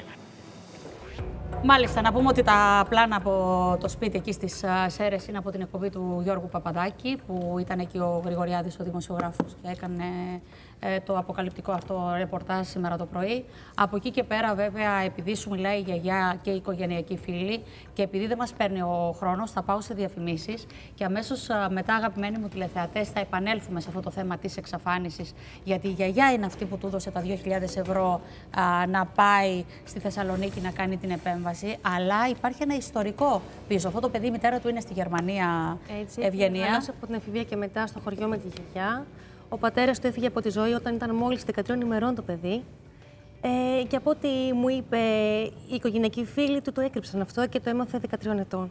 Πάντως η Κατερίνα Σουλιώτη συνομίλησε πριν λίγο με την μητέρα, γι' αυτό μου λέει η Ελισάβετ Νικολαίδη, η αρχισυντάκτη, επειδή είμαστε, ότι είμαστε ζωντανή εκπομπή, να σου πω ότι πριν από λίγο συνομίλησε η Κατερίνα Σουλιώτη και με τη μητέρα στη Γερμανία. Λοιπόν, θα πάμε σε διαφημίσεις και θα επανέλθουμε γιατί κοιτάξτε να δείτε τι γίνεται. Ένα παιδί φεύγει και ξαφνικά βρίσκεται θαμένο σε μια αυλή. Αυτή είναι η κοινωνία και αυτά είναι τα κομμάτια της. Αλήθεια είναι αυτό. Είναι ε, πολύ δύσκολα θέματα αυτά. Πάρα πολύ δύσκολα θέματα. Ε, ξέρεις, αυτά είναι και τα αποτελέσματα και της κρίσης, της οικονομικής. Υπάρχει σοβαρό έλλειμμα στο, στο, στην αντιμετώπιση των ζητημάτων ψυχικής υγείας. Μου το έλεγες πριν από λίγο. Ναι. Ε, αρκεί να μπει κάποιος ένα. Εγώ να σου πω ένα πράγμα. Δεν είναι ανάγκη να κάνεις μελέτη για να το δεις αυτό. Πήγα να πάρω έναν φυσικό ορό στο φαρμακείο το χειμώνα. Και ήταν πάνω στον πάγκο γεμάτο αντιβιωτικά σε ένα φαρμακείο στο Μαρού, στη γειτονιά μου. Και λέω: Τόσα αντιβιωτικά τα πουλάτε. Μου λέει: Δεν φαντάζεστε τι γίνεται, αλλά συνταγογραφούν οι γιατροί. Αυτό μου λέει όμως δεν είναι τίποτα. Τα ψυχοφάρμακα να δεις τι γίνεται, μου λέει. Και όχι για τους μεγάλους ανθρώπους που έχουν μια ζωή πίσω τους, νέοι άνθρωποι. Και, και αυτό δείχνει ότι υπάρχει πολύ. ένα πρόβλημα. Και στο χώρο μας, με κοιτάς βαθιά στα μάτια. εγώ, εγώ καμιά σαλάτα βαλεριάνα το πολύ. λοιπόν, πάμε σε διαφημίσεις και επανερχόμαστε.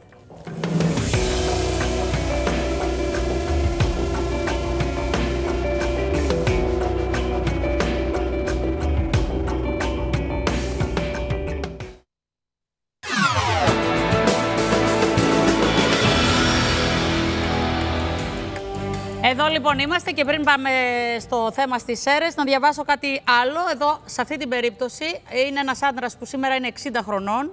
Κατάγεται από μια οικογένεια με γονείς πανεπιστημιακής μόρφωσης. Είχαν και οικιακή βοηθό στο σπίτι και όταν ήταν 6 ετών αυτή τον έβαζε να κάνει διάφορα οικιακή βοηθός. Και θέλω να πω το εξής ότι σήμερα ενώ ξέρει ότι αυτή ζει, θέλει να πάει να τη βρει να της μιλήσει για την αλήθεια ότι ήξερε πολύ καλά τι έκανε τότε, απλά δεν το μαρτύρησε ποτέ στους γονείς, για να βγει από πάνω του. Είδες; Τι υπάρχει; Τι υπάρχει και τι μέσα σε μισή ώρα εκπομπής, πόσες τέτοιες διαφορετικές ιστορίες έρχονται. Αγαπητή Ελισάβετ Νικολαίδου, ε, επειδή σας ρωτάω σε όλο το διαφημιστικό διάλειμμα, ε, έχουμε τη μητέρα στο τηλέφωνο; Ωραία. Λοιπόν, ε, καλό μεσημέρι. Κυρία Τασούλα, καλό μεσημέρι. Ευχαριστώ επίσης. Ε, δυστυχώς είναι πολύ δύσκολο και η δική μας θέση να διαχειριστούμε την κουβέντα μαζί σας. Αλλά και εσείς φαντάζομαι μάθατε από ε, εδώ και κάποιες μέρες ότι το παιδί σας βρέθηκε θαμένο από την... Πότε, πότε το βρήκα. το βράδυ, λίγες ώρες. Χθες. Λίγες ώρες, χθες το βράδυ; Το... Όχι. Εχθές το απόγευμα. Χθες το απόγευμα. Έτσι έχω μάθει. Ε, ξέρατε κάτι για το παιδί σας, γιατί εσείς βρίσκετε στη Γερμανία και εκείνο ήταν με α, τη γιαγιά. Ναι. Συνομίλησες πριν με την α, Κατερίνα Ναι. Σουλιώτη και Κατερίνα μου; Η κυρία, η κυρία Τασούλα μένει πάρα πολλά χρόνια στη Γερμανία μαζί με τον Χρήστο, τον αδερφό του Βασίλη. Το μάθανε χθες, ήταν πολύ ξαφνική είδηση, ε, μέσω μιας γνωστής τους από, το δελτίο, από γνωστό δελτίο ειδήσεων και από την ε, κυρία Νικολούλη. Ξαφνιάστηκαν, έπεσαν από τα σύννεφα. Ε, Δεν το γνώριζαν, άρα. Δεν το γνώριζαν. Πίστευαν ότι ο Βασίλης είναι ζωντανός, ότι κάτι κρύβει, ότι εξαφανίστηκε για κάποιο προσωπικό λόγο. Γιατί όπως μας, α, θα μας πει και η κυρία Τασούλα, ε, είχαν άριστες σχέσεις ε, και δεν το περίμεναν. Δεν την περίμεναν αυτή τη Από το τραγική δελτίο, εξέλιξη. κυρία Τασούλα, το μάθατε; Ορίστε. Εσείς από το δελτίο ειδήσεων μάθατε ότι ο γιος σας βρέθηκε; Όχι. Μέσω μιας φίλης Όχι, της. μη- μία φίλη μου το έμαθε η μητέρα της από δελτίο ειδήσεων και την πήρε τηλέφωνο και με πήρε μετά και εμένα ε, το βράδυ που νοσηλευόμουν στο νοσοκομείο μετά από μια επέμβαση στο μάτι που έχω κάνει. το, το παιδί μου το ήξερε, ο Χρήστος, αλλά δεν ήθελαν να με το πούνε, ήθελαν να με αφήσουν στο νοσοκομείο να ηρεμήσω και να... ε, γιατί χρειαζόταν εξάπλα η εγχείρηση στο μάτι και να με το λέγανε σήμερα, αλλά αφού το έμαθα εγώ έτσι πήρα τηλέφωνο. Α, άρα είχε Και ενημερωθεί η ήρθα. οικογένειά σας να το διευκρινίσουν Ναι. σωστά, γιατί ε, ο άλλος Πιο τρόπος μπροστά είχε. ήταν σκληρός τρόπος, γι' αυτό και ευτυχώς που το διευκρινίζετε, γιατί εμένα μου έκανε φοβερή εντύπωση. Άρα, τα παιδιά σας είχαν, το, το άλλο το παιδί σας είχε ενημερωθεί, απλώς επειδή Είχε εσείς ήσταν ενημερωθεί στο από μια νοσοκομείο, πολύ καλή γνωστή καθυστέρησε. μας Ε, ωραία. συγγενής. Ωραία, ωραία, ωραία. Εντάξει. Άρα υπήρχε η σωστή διαδρομή. Ενημέρωσαν, απλώς εσείς δεν είχατε ενημερωθεί και σας Εμένα. ενημέρωσε η φίλη Ναι. σας σας που το είδες στο δελτίο. Ναι. Αυτό είναι άλλη ε, εξέλιξη. Ε, να σας πω κάτι. Περιμένατε ότι αυτό θα ήταν το αποτέλεσμα αυτής της κατάστασης; Όχι. Όχι, περνούσαν πολλά από το μυαλό μου μερικές φορές όταν βυθίζομαν στη σκέψη και στη στεναχώρια που μπορεί και κάτι τέτοιο να συμβεί, αλλά φυσικά δεν, θα, δεν το ήθελα να το πιστέψω όπως νομίζω και η κάθε μάνα δεν θέλει κάτι να πιστέψει τέτοιο για το παιδί της. Αλλά εγώ είχα κάνει και άλλες έρευνες και μου είχαν πει ότι το παιδί μου ζει και εκεί κάπως κρεμόμουν και είχα κάποιο, ε, κάποιο, κάποιες ελπίδες και λέω για να μου λένε τέσσερα άτομα ότι το παιδί μου το βλέπουν ότι ζει και χρειάζεται λίγο χρόνο, λίγο απόσταση και θα ξαναρθεί.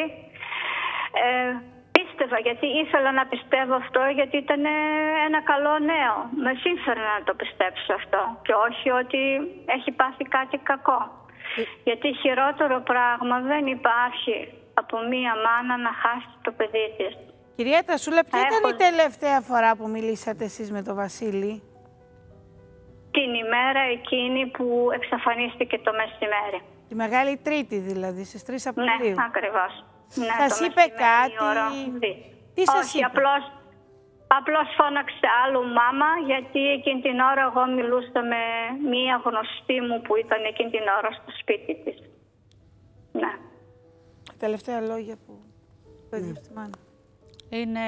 Ναι, και τελευταία φορά προσωπικώς τον είδαμε το Σεπτέμβριο που ήμασταν με άδεια. Που να ήξεραμε ότι δεν θα τον ξαναδούμε προσωπικώς τον Βασίλη. Δεν θα το Πάντως, πίστευα α, αυτό το κυρία πράγμα. Τασούλα, επειδή μίλησε και η γιαγιά του παιδιού, Ναι. αλλά και μια γειτόνισσα, να τις ακούσουμε και τις α, δύο τι α, είπαν, γιατί αυτό το Ναι. παιδί τραβούσε και αυτό το δικό του Γολγοθά και εσείς το γνωρίζετε πάρα πάρα πολύ καλά. Ναι. Ε, και ως μάνα Αυτό κατανοώ είναι απόλυτα όμως, τις αυτό είναι δυσκολίες. μόνο μεταξύ μας και δεν θα ήθελα να γίνει συζήτηση παραπέρα. Είναι αποτέλεσμα έρευνας όλο αυτό που ξέρετε αυτή τη στιγμή, το αστυνομικό ρεπορτάζ. Ε, Πιστεύω τρέχει. να με καταλάβατε όμως τι σας είπα τώρα, έτσι. Βεβαίως καταλάβαμε, απλώς να ξέρετε Ναι. ότι όλα αυτά είναι... Ο Γολγοθά στοιχεία- αυτό το παιδί και εγώ τραβάμε από την ώρα που γεννήθηκε. 18 χρονών παντρεύτηκα, 19 τον απόκτησα τον Βασίλη, ούτε καλά ήμουνα. Και σε ένα αυτοκίνητιστικό δυστύχημα έχασα με τον πατέρα του και τον αδελφό μου. Ο Βασίλης ήταν τότε μόνο 13 ημερών. 13-14 ημερών. Ήμουνα κι εγώ τραυματισμένη και έμεινα στην Ελλάδα μέχρι που να γίνω καλύτερα και μετά πήρα τον Βασίλη και γύρισα στη Γερμανία κοντά στους γονείς μου. Και έτσι τον μεγάλωσα κοντά στους γονείς μου μέχρι 6 χρονών τον Βασίλη και κάποια στιγμή έφ- έφτιαξα ξανά στη ζωή μου και έχω έναν γιο ακόμη, ο Χρήστος μου. Και ε, ο, ο, πα- ο πατέρας του Χρήστου, δηλαδή ο σύζυγός μου, είχαν πολύ καλές σχέσεις με τον Βασίλη. Τον αγαπούσε και τον πονούσε και τον σκεφτόταν σαν να ήταν ένα δικό του παιδί. Είναι πολύ καλός άνθρωπος και δεν υπήρχε δηλαδή... Πάντως η γιαγιά τον αγαπούσε Κανένα πάρα πρόβλημα. πολύ και ήταν αυτή που του έδωσε και τα 2.000 ευρώ για να πάει να κάνει την επέμβαση. Ναι. Και Η αυτή τη γιαγιά στιγμή- τον αγαπούσε, δεν είχε κανέναν άλλον, αυτός και μοναδικός ήταν, ναι. Τι σου είπε Ευγενία μου, γιαγιά, να Η γιαγιά μου την είπε ότι έχει ακούσουμε; χάσει δύο παιδιά. Ε, γιαγιά τον έχει ε, χάσει μπαμπά δύο παιδιά. από το αυτοκινηστικό, αλλά και τον αδερφό ε, και το δεύτερο παιδί της από λευχαιμία. Δηλαδή αυτή η γυναίκα. Το πρώτο το παιδί δεν το γνώρισα εγώ, ναι. Του Βασι- Έχει το όνομα του Βασίλη. Το όνομά του είναι Βασίλη, λεγόταν. Τον είχε χάσει πέντε χρόνια πριν να παντρευτούμε. Λοιπόν, σας οικογενειακό ευχαριστούμε δράμα. πάρα πολύ, κυρία Τασούλα, να ακούσουμε και τι είπε η Και γιαγιά. όταν έγινε το ατύχημα, η γιαγιά δεν ήθελα να με τον δώσουν τον Βασίλη. Και να γιατί σας, εγώ ήμουνα η αιτία που σκοτώθηκε ο μπαμπάς τους και ο, ο εννοείται; μπαμπάς να σας συλληπιθούμε, να σας συλληπιθούμε. Τι εννοείται ότι ήταν η Συλληπιτήρια. αιτία; Ε, γιατί δύο εβδομάδες ήταν που είχε γεννηθεί ο Βασίλης και εγώ ήμουν αλεχόνα και ο αδελφός μου που οδηγούσε και φέραμε κάπως Ήταν η κάποια στιγμή νομίζω ησυχία ότι... στη γη. Και έτσι δεν με τον δίνανε. Με έλεγαν ότι σκότωσες τον γιο μας, δεν θα σας δώσουμε να σκοτώσεις και τον εγγονό μου. Μόνο... Και έκαναμε δικαστήριο και το πήραμε τον Βασίλη. Και ήρθα στη Γερμανία. Εδώ τώρα έρχεται είναι. που έχεις δίκιο. Κατάλαβες, δηλαδή ότι όταν ψάχνεις όλες τις πλευρές, βλέπεις... προκύπτει. Έτσι, μπράβο. Προκύπτουν πράγματα Βλέπεις στον αέρα. λοιπόν δι- πίσω από την κυρία Τασούλα και από αυτή εδώ την εξαφάνιση για αρχή που μετά προέκυψε ε, ό- όλη αυτή η αλήθεια της ιστορίας βρέθηκε θαμένο το παιδί. Ένα οικογενειακό δρόμο. Έτσι, μπράβο. Αυτό είναι αλήθεια. Αυτό είναι η Τα αλήθεια. Δηλαδή, συλληπιτήριά μας, κυρία Τασούλα. τα συλληπιτήριά εκεί μας. είναι η ουσία της υπόθεσης και εκεί είναι που η τηλεόραση καμιά φορά όταν μπαίνει απότομα γίνονται και λάθη. Αυτό είναι η αλήθεια τώρα. Αφού λες αλήθειες εδώ, Έτσι, το μπράβο. πες και Αλήθεια. Σας ευχαριστούμε πάρα πολύ κυρία Τασούλα. Να ακούσουμε λοιπόν τι είπε και η γιαγιά. Τι έγινε με το παιδί; Το βρήκαν πεθαμένο. Εχθές το βρήκαν πεθαμένο εκεί στην Αλιστράτη. και τον έφεραν εχθές και σήμερα είναι, πώς λέγεται καλέ, βουμουτινή για νεκροψία. Πότε έφυγε από το σπίτι σας; 3 Απριλίου. Ε, Για τον γιατρό θα πήγαινε, ξέρω εγώ που πήγε. Τι παιδί ήταν ο Βασίλης; Καλά παιδί ήταν, δεν ξέρω παραπάνω κορίτσι μου, δεν ξέρω. Εσείς τους φίλους του τους ξέρατε; Όχι, δεν ξέρω κανέναν φίλο, δεν είχε πολύ φίλους. Με κάτι κορίτσια. Είχε κοπέλα; Ναι, πολλοί σιγόλοι έχουν να λένε. Είχε καμία αντιδικία με κάποιον, είχε τσακωθεί με κάποιον; Δεν ξέρω βρε κορίτσι μου, δεν ξέρω. Τον είχατε μεγαλώσει εσείς; Όχι, ήταν στη μαμά του στη Γερμανία. Μάλιστα. Και επειδή συνομίλησες και μια οικογενειακή φίλη που ήταν στη γιαγιά, η Κατερίνα Ισουλιώτη συνομίλησε και με τον αδελφό του, να τους ακούσουμε και αυτούς, γιατί εμείς το μόνο που μπορούμε να πούμε είναι συλληπιτήρια ε, σε όλες τις οικογένειες και στην πλευρά της γιαγιάς που κρατούσε το παιδί, αλλά και στη μαμά που βλέπεις πως νιώθει αυτή τη στιγμή και τις τύψεις και τις ενοχές της, γιατί είπε πως εγώ ευθύνομαι που χάθηκε ο πατέρας του Βασίλη, γιατί οδηγούσε ο αδελφός της. Πόσο δηλαδή καταγεγραμμένο είναι στην ψυχή της, πόσα Βέβαια. χρόνια μετά, ότι εκείνη ευθύνεται. Ενώ δεν είναι η αλήθεια, σε οποιονδήποτε μπορεί να συνέβαινε Έτσι αυτό. είναι Μπορεί να ακριβώς. οδηγούσα εγώ, μπορεί να οδηγήσει εσύ. Είναι αμέλεια, είναι όλα αυτά που καμιά φορά είναι αυτό που λέω εγώ, το γραμμένο. Μπορεί να μην το πιστεύουμε πολύ, αλλά έτσι είναι. Λοιπόν, ε, παρακαλώ να τους ακούσουμε. Τι να σας πω για το παιδί. Το παιδί ήταν ένα ευαίσθητο παιδί, 37 χρονών. Ζούσε με τη γιαγιά του.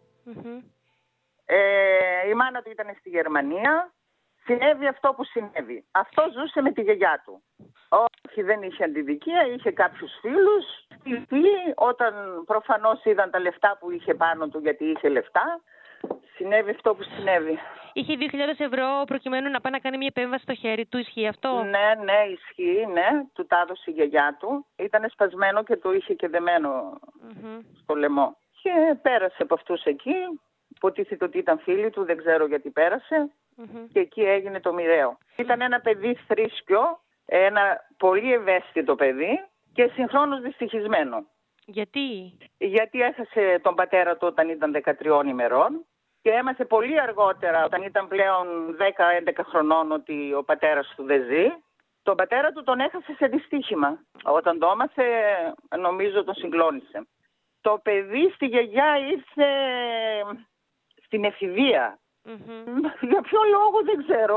Η γιαγιά είναι κοντά στα 90. 90 χρόνια για κάτι να τι Είναι να κάνει πολύ η γυναίκα. δυστυχισμένη. Είναι πολύ μεγάλη γυναίκα. τι Είναι να πολύ κάνει. δυστυχισμένη γιατί έχει χάσει και, τα, και δύο παιδιά. Πώς τα έχασε τα δύο παιδιά; Το ένα από λευχαιμία και το άλλο στο δυστύχημα ο πατέρας του Βασίλη. Η μαμά Μμ. του Βασίλη έρχεται στην Αθήνα, στην Ελλάδα; Έχει έρθει όταν χάθηκε το παιδί της, αλλά έφυγε. Και τώρα, Τώρα- τώρα... δεν ξέρω. Δεν έχω επαφές μαζί της, δεν ξέρω. Εχθές το βράδυ μας πήρε η γνωστή μας από την Ελλάδα τηλέφωνο, όχι εμάς, δηλαδή εμένα. Πήρε δύο-τρεις φορές τηλέφωνο μέχρι που να το δω, γιατί απασχολούμουν με τη μικρή μας. Και μετά είπε, λέει, η Νικουλούλη τον βρήκανε και είναι στη τηλεόραση στις ειδήσεις. Και έτσι τελικά το έμαθα. Μπήκα και εγώ με- και, και την είδα εκείνη την εκπομπή στις ειδήσεις που την δείχνουν και στη τηλεόραση. Και τα είδα και τα έμαθα όλα. Δηλαδή, εγώ το έξερα λίγο πιο μπροστά από τη μάνα μου. Μόνο δεν ήθελα κανονικά να της το πω χθε το βράδυ, γιατί χειρουργήθηκε και ήταν στο νοσοκομείο μόνη της. Όμως τόσα άτομα που το είδαν, φίλοι μας, γνωστοί μας, την πήραν πιο μπροστά τηλέφωνο και της το είπαν. Και δηλαδή, τι θέλω να πω. Τον αγαπούσα πάρα πολύ. Μπορεί να μην είχε μια εύκολη ζωή ο Βασίλης, όμως είχε την καλύτερη καρδιά στον κόσμο που όχι, όχι έτσι. Δύσκολες οικογενειακές καταστάσεις. Α, Το αποτέλεσμα μιας εξαφάνισης ήταν τραγικό. Γιώργο μου, κάτι θέλεις να πεις για να ολοκληρώσουμε; Ναι, ότι η αστυνομία ευθύς, καταρχήν να πούμε ότι η εξαφάνιση δηλώθηκε 24 Απριλίου, δηλαδή σχεδόν 21 μέρες μετά την ε, τελευταία ε, εμφάνιση, φυσική παρουσία του ίδιου στη ζωή. Η αστυνομία ξεκίνησε να χαρτογραφεί η ασφάλεια της δράμας, ε, ξεκίνησε να χαρτογραφεί όλο το, τον κύκλο των συναναστροφών του. Ε, από το κινητό βρήκε που, ποιοι- που γίνανε οι τελευταίες ε, επικοινωνίες. Ε, φτάσανε σε ένα... Τους είπε και ο ταξιτζής ε, ότι τον μετέφερε στο συγκεκριμένο σπίτι. Ε, είχαν κάνει αρκετές προσαγωγές, μεταξύ του οποίου και αυτόν ο οποίος θεωρούνταν ο βασικός και κύριος ύποπτος. Ε, και τελικά τους ε, ομολόγησε ότι αυτός τον έθαψε όταν ξαφνικά έμεινε στα χέρια του. Ε, θα ακολουθήσει μια ιατροδικαστική εξέταση για να δουν αν ε, ο θάνατος όντως προκύπτει από παθολογικά αίτια με τις όποιες, εν πάση περιπτώσει, προηγούμενες παρενέργειες υπήρξαν ή αν υπάρχει εγκληματική ενέργεια. Μάλιστα. Σε βάρος του σχηματίσει τη δικογραφία και θα οδηγηθεί στον εισαγγελέα. Μάλιστα, είναι όλα αυτά που ξέρεις η μητέρα γνωρίζει και δυστυχώς είναι ένα δύσκολο παρελθόν, αποτέλεσμα μιας τραγωδίας και της έλλειψης του πατέρα που έμενε στη γιαγιά, που τον κράτησε όμοιρος σε εισαγωγικά με την καλή έννοια για να έχει το, ε, τον γιο της κοντά αφού είχε χάσει και το άλλο της Συνηθίζεται, επειδή είμαι από τη δράμα, αυτό συνηθιζόταν ε, ε, πάντα, δηλαδή όταν και έχω και συγκεκριμένες περιπτώσεις ε, μελών της οικογένειάς μου, όταν κάποια, ένα ζευγάρι φεύγει μετανάστες στην Γερμανία, ε, αφήνουν το εγγονάκι πίσω στη γιαγιά και στον παππού. τώρα το πήρε για άλλο λόγο, έτσι. Mm. Ήταν ξεκάθαρη η μαμά, το πήρε γιατί χάθηκε ο, αδελφο, ο πατέρας του παιδιού και γιος της από υπετιότητα του αδελφού της Τασούλας που βγάλαμε στο τηλέφωνο. Λοιπόν, σε αυτό το σημείο αλλάζουμε θέμα και όπως σας υποσχεθήκαμε είναι Παρασκευή σήμερα και έχουμε τον καλύτερο καλεσμένο, τον Γιώργο Καραμέρο. Η Κατερίνα Σουλιώτη λοιπόν ετοίμασε ένα βίντεο στο οποίο μιλούν ποιοι Κατερινάκη μου, ο Γιώργος, αλλά περισσότερο η σύζυγος, γιατί θέλαμε να μάθουμε λεπτομέρειες από την προσωπική τους ζωή, την οικογενειακή τους. Δηλαδή πόσο καλός σύντροφος είναι, πόσο στοργικός πατέρας, αν κάνει δουλειές στο σπίτι ή μιλάει συνέχεια στα τηλέφωνα και... Η λιποθύμησε, γιατί δεν μιλάει πολύ. Όντως δεν μιλάει καθόλου, όχι πολύ. δεν μιλάει πολύ. Δεν μιλάει Δημόσια σχεδόν καθόλου. Στο σπίτι μιλάει, γκρινιάζει. Εννοείται και στην παρέα μιλάει. Αλλά όπως όλες οι γυναίκες όταν γκρινιάζουν έχουν δίκιο. Τι λες, να σε χειροκροτήσω.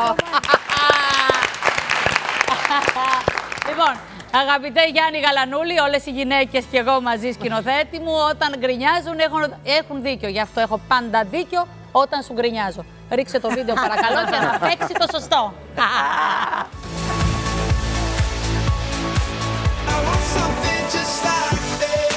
Από τη δημοσιογραφία αποφάσισε να αφιερωθεί στα προβλήματα του τόπου.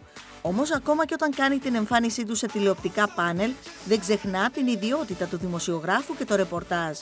Ο Γιώργος Καραμέρος, 20 χρόνια και πλέον, υπηρέτησε πιστά τη δημοσιογραφία. Όμως τα τελευταία χρόνια έχει αναλάβει καθήκοντα αντιπεριφερειάρχη Βορείου Τομέα Αττικής. Τι είναι καλύτερα, το ρεπορτάζ στο δρόμο ή το να τρέχεις για τους πολίτες; Έχουν πολλά κοινά χαρακτηριστικά.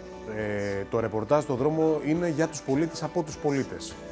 Ε, Πολλές φορές δεν λύνει το πρόβλημα όμως. Το ανοίγει, αλλά δεν το λύνει. Στην αυτοδιοίκηση είσαι πάλι με τους πολίτες, ακούς το πρόβλημα και οφείλεις να το λύσεις. Οι στιγμές που σε στιγματίζουν από τα παιδικά σου χρόνια δεν είναι εύκολες στιγμές. Εγώ είμαι παιδί δύο γονέων ε, ε, της ε, μεταπολίτευσης ως γονείς εκείνη, αλλά παιδιά του εσωτερικού μεταναστευτικού ρεύματος, με προβλήματα, με οικογενειακές συγκρούσεις, με κυνήγια με το μεροκάματο, ε, εγώ ευχαριστώ τους γονείς μου γιατί έζησα την πραγματικότητα από την πρώτη μέρα. Και μας ξεκαθάρισαν από παιδιά ότι ξέρετε κάτι από εμάς έχετε να περιμένετε μόνο αγάπη. Και προβλήματα πρέπει να τα λύσουμε μαζί. Τρυφερός πατέρας δύο παιδιών, ενεργός πολιτικός αλλά και πιστός σύζυγος, ο Γιώργος Καραμέρος άρχισε την επαγγελματική του σταδιοδρομία αρθρογραφώντας για αθλητικές εφημερίδες. Το 1994 πέρασε στο αστυνομικό ρεπορτάζ στον Αντένα. Συνεργάστηκε με μεγάλα ονόματα του χώρου, ενώ ανέλαβε και την αρχισυνταξία πολλών εκπομπών. Το 2005 ανέλαβε την κεντρική παρουσίαση καλοκαιρινής πρωινής εκπομπής και αργότερα και Σαββατοκύριακου, ενώ το καλοκαίρι του 2007 συνεργάζεται για πρώτη φορά με το Σπύρο Χαριτάτο σε ένα μαγκαζίνο που έδωσε αέρα ενημέρωση στην πρωινή ζώνη. Φεύγει από τον Αντένα και συνεχίζει την επαγγελματική του πορεία ως παρουσιαστής κεντρικού δελτίου ειδήσεων. Διετέλεσε διευθυντή σε ειδησιογραφικά blog, ενώ αρθρογραφεί τακτικά σε εφημερίδες και περιοδικά μέχρι που η πολιτική μπήκε στη ζωή του. Από το το 2003 είναι παντρεμένος με τη σύντροφο της ζωής του, Τάνια Γκιώση, η οποία είναι συντηρήτρια αρχαιοτήτων. Μαζί έχουν δύο παιδιά, τον Παναγιώτη και την Ευσταθή Αναστασία, για τα οποία είναι και οι δυο πολύ περήφανοι. Νομίζω αυτό που μου έρχεται τώρα στο μυαλό είναι ότι είναι μια πολύ ισότιμη σχέση. Εννοώντας, Εννοώντας ότι ε, έχουμε, δίνουμε πολλές ελευθερίες ο ένας τον άλλον. Ε, γνωριστήκαμε μέσω μιας ε, της κολλητής μου φίλης. Ε, ήταν πολύ διεκδικητικός, δηλαδή με παίρνε τηλέφωνα. Ε, δεν, δεν μ' άφησε. Δημοσιογράφος, Ναι, ναι, παιδί ναι, μου. ναι, ναι, ναι, ναι, ναι, δεν μ' άφησε ήσυχη, ναι. πόσο δύσκολο είναι να χειριστείς τον Γιώργο στο σπίτι και τα παιδιά μαζί; Αυτό φαντάζομαι ότι είναι το ίδιο για όλες τις γυναίκες, όχι μόνο για μένα. Δηλαδή, εντάξει, και, και ο Γιώργος έχει λίγο χρόνο, και εγώ έχω λίγο χρόνο, τα παιδιά έχουν πολλές απαιτήσεις. Ε, κάποιος πρέπει να τα συντονίζει όλα αυτά, συνήθως το κάνουν οι γυναίκες. Αγαπάω το ότι είναι καλός πατέρας, εντάξει, γιατί είναι το ότι ό,τι και δουλειές να έχει, ό,τι και να συμβαίνει, πάντα θα βρει χρόνο να ασχοληθεί με τα παιδιά, να τους πάει σε δραστηριότητες, παρόλο που προφανώς είναι περιορισμένος.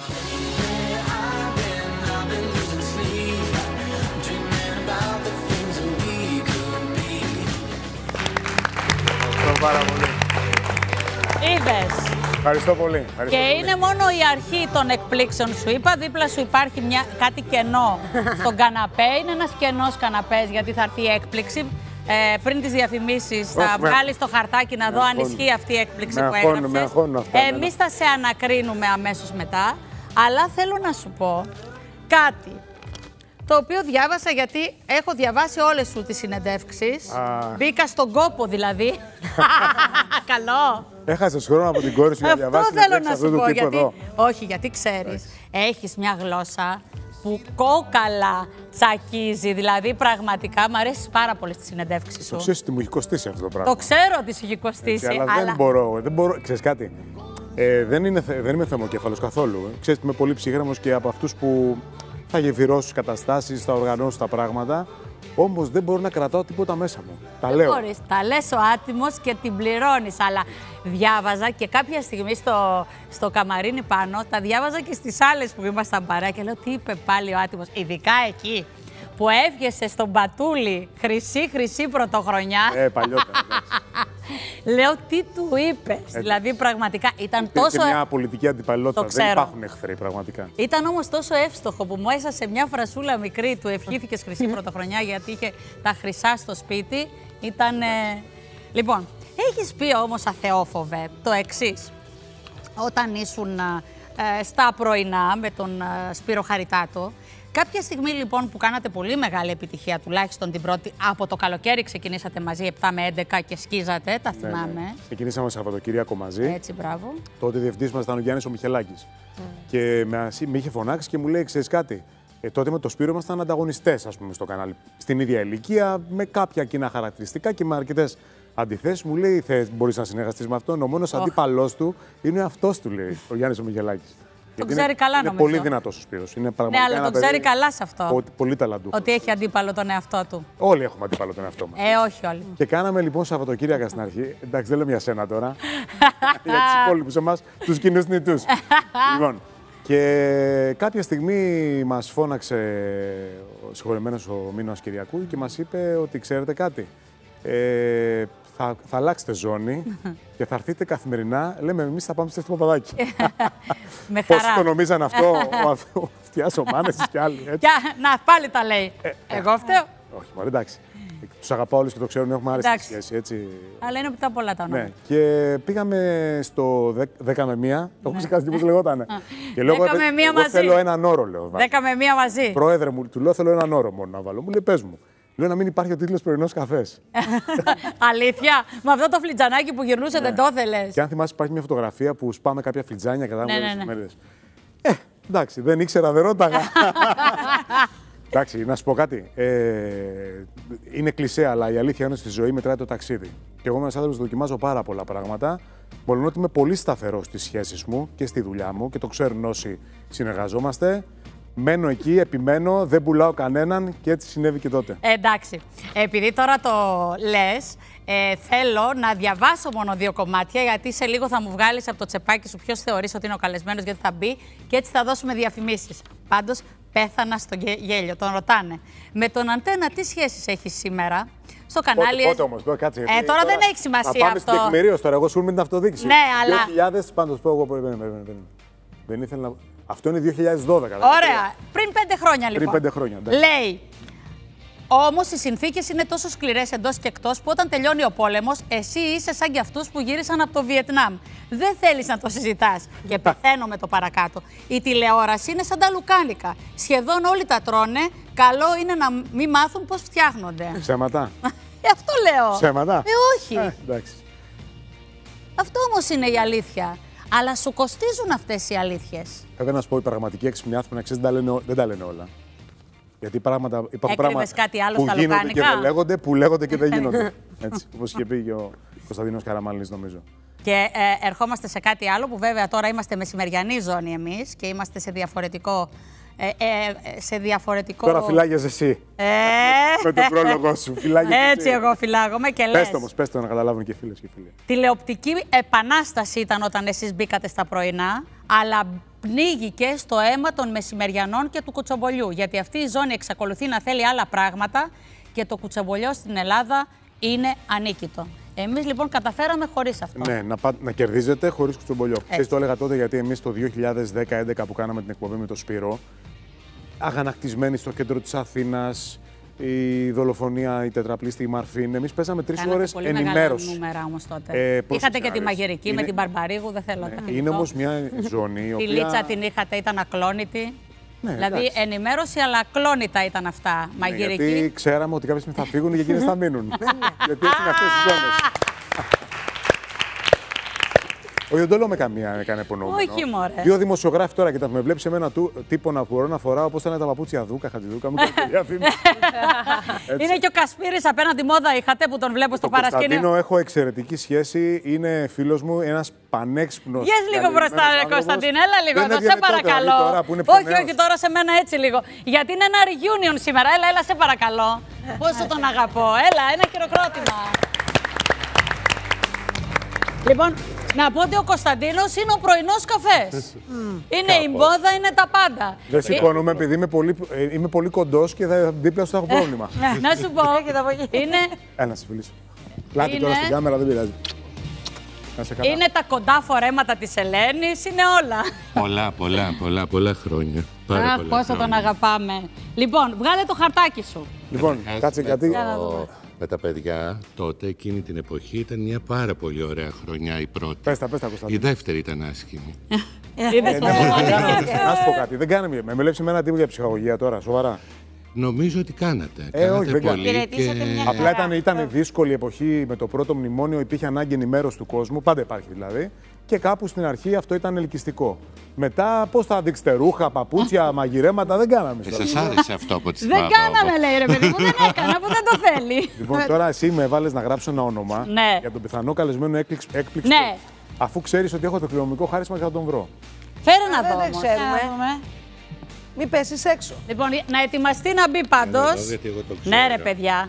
Πώς τον βρήκες; Ε, Ε, τηλεόραση Πώς τον κάνει. βρήκα. Ε, Αλήθεια θα πεις. Κοίταξε, προφανώς για να μας φέρει ζωή κοντά, υπάρχει κάτι το οποίο δεν μπορεί να καταγραφεί και μας ενώνει. Δηλαδή μια άβρα, μια ενέργεια. Ε, ήξερα ότι η σύζυγός μου αποκλείεται να βγει στην τηλεόραση να έρθει εδώ. Τα παιδιά μου είναι στο σχολείο. Οι άνθρωποι με τους οποίους συνεργάζομαι είναι σε δουλειές όλοι και βρίζουν που δύο ώρες έχω φύγει από την περιφέρεια. Οπότε μένει κάποιος ο οποίος με αγαπά πολύ και έχει σχέση με την τηλεόραση. Ρε Ελισάβετ, αυτή τη δουλειά την κάνουμε κι εμείς χρόνια δηλαδή πίσω από τις κάμερες. Ξέρω ότι δεν είπαμε ποιος είναι, για να περιμένουν και τηλεθεατές ποιος είναι. Δηλαδή για όνομα του Θεού. Τι γράψατε το δηλαδή όνομα; πραγματικά. Γράψατε το όνομα. Όχι βέβαια, δεν γράψανε όνομα. Πάντως και ως το μεσημέρι θα αρχισυντάκτρια παίξεις στο όλα τα πρωινό site. καφέ φώναζε. Από ό,τι θυμάμαι. Για όνομα του Θεού. Δηλαδή μια δουλίτσα την ξέρουμε, την κάνουμε. Καλά, με αυτά Είμαστε που- και ακριβοπληρωμένες Επειδή σε όμως αυτό το- που κάναμε. Επειδή την ξέρω, τον ξέρω να μην το αποκαλύψουμε, είναι ικανός με αυτά που ακούει τώρα να έχει φύγει κιόλας. Όχι, δεν φεύγει. Εδώ είναι και λέω να μπει. Όχι, δεν θα μπει.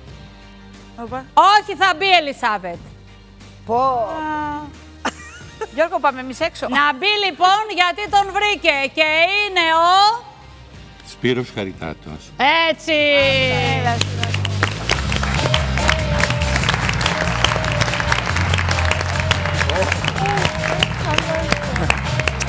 Α, πραγματικά. Με αυτό το θα πει, δεν θα πει, ήμουν έτσι. Πέντε λεπτά έτσι πιάστηκε το πόδι μου. Λοιπόν, είπα να έρθω να πω δύο κουβέντες. Ξαναέρθεις τώρα, δεν θα θέλω σε κουβέντα. Δεν πας πουθενά χωρίς εμένα. Έτσι, μπράβο. Ε. Μου- Μα μου επιτρέψετε λίγο, σας παρακαλώ πολύ. Πόσο σ' αγαπώ, ρε Σπύρο. Καθίστε. Ε, ε, και Επιτρέψτε παρακαλώ πολύ. Ε, δε- αυτή η μόδα πρέπει να μπει, νομίζω. λοιπόν, Κάνε, κυρίες μου. Τι κάνετε. Να είστε καλά. δεν θέλω να πούμε άλλα. Θα πάμε σε διαφημίσεις, γιατί όταν έρθουμε από Σπυράκο, τις τις κάνεις; διαφημίσεις Ε, θα πούμε... Περίμενε μισό λεπτό. α. Να πούμε δύο λόγια, έχω να τη δώσω καιρό. Σπύρο, τι κάνεις; Καλά είσαι. Τι γίνεται. Ξυπνάς νωρί, μαθαίνω 4 και 4. Τρεις. Παιδιά, γιατί είστε πλάτη; Μπορείτε να κοιτάζεστε στην Εσύ τηλεόραση. Γιώργο τι κάνεις, περνάς καλά; Καλά, με ταλαιπωρούμε, Σπύρο μου. Ε, ταλαιπωρείσαι, εντάξει τώρα. Ξέρεις ότι εγώ δημιουργώ προβλήματα για να τα λύνω. Ε, πες ότι ησύχασες και ηρέμησες, που δεν μας γούσταρες να μας Έλα εδώ βλέπεις. κοντά, ρε. Όχι ρε, Τι να πω, πήγαινε σε διαφημίσεις να τους πάρω τα Παιδιά, μούτρα. λοιπόν, αυτοί οι δύο μου αρέσουν μαζί. Ναι, Να σου πω κάτι. Μήπως σήμερα που το κουτσομπολιό... Πιστεύεις τώρα, συγγνώμη. Που το κουτσομπολιό. Πιστεύεις ότι αν κάναμε εκπομπή, υπήρχε περίπτωση να χάσουμε κάποια ζώνη; Όχι. Εσύ τι πιστεύεις; να, να το πω. Ναι.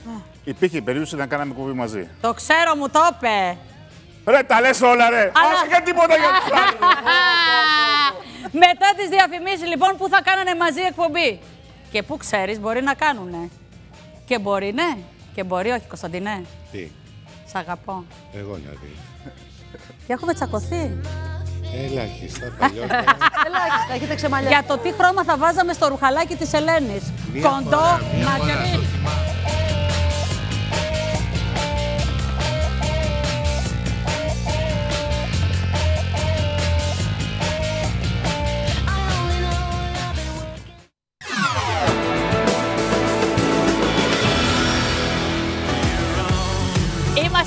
ωραία παρέα και πιστεύω πως θα βγει και προς τα έξω. Είμαστε το 10 με 1 μαζί και το 12 με 2 ντάν. Περνάμε- Περνάμε καλά και φαίνεται αυτό, έτσι.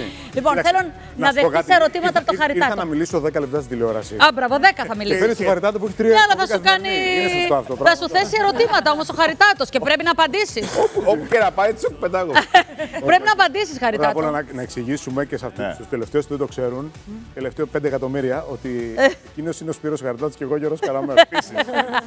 το ίδιο πρόβλημα έχουν όλα τα τηλεοπτικά δίδυμα. Ναι, Και πιστεύεις; τον ε, Λιρτζή με τον Καμπουράκη τώρα, τους, ε, Λιρτζή με τον Οικονόμου τους μπερδεύουν. Γι' αυτό χωρίσαν κι αυτοί. Γιατί τώρα θα έρθει ο Το Λιριτζή με τον Οικονομία Καμπουράκη. τον, ε, Καμπουράκη. Κοίταξε, περάσαμε το, το στάδιο τα πρώτα δύο-τρία χρόνια που εγώ ήμουν ο Καραμέρος, ο Γιώργος Καραμέρος και ο Σπύρος Χαριτάτος.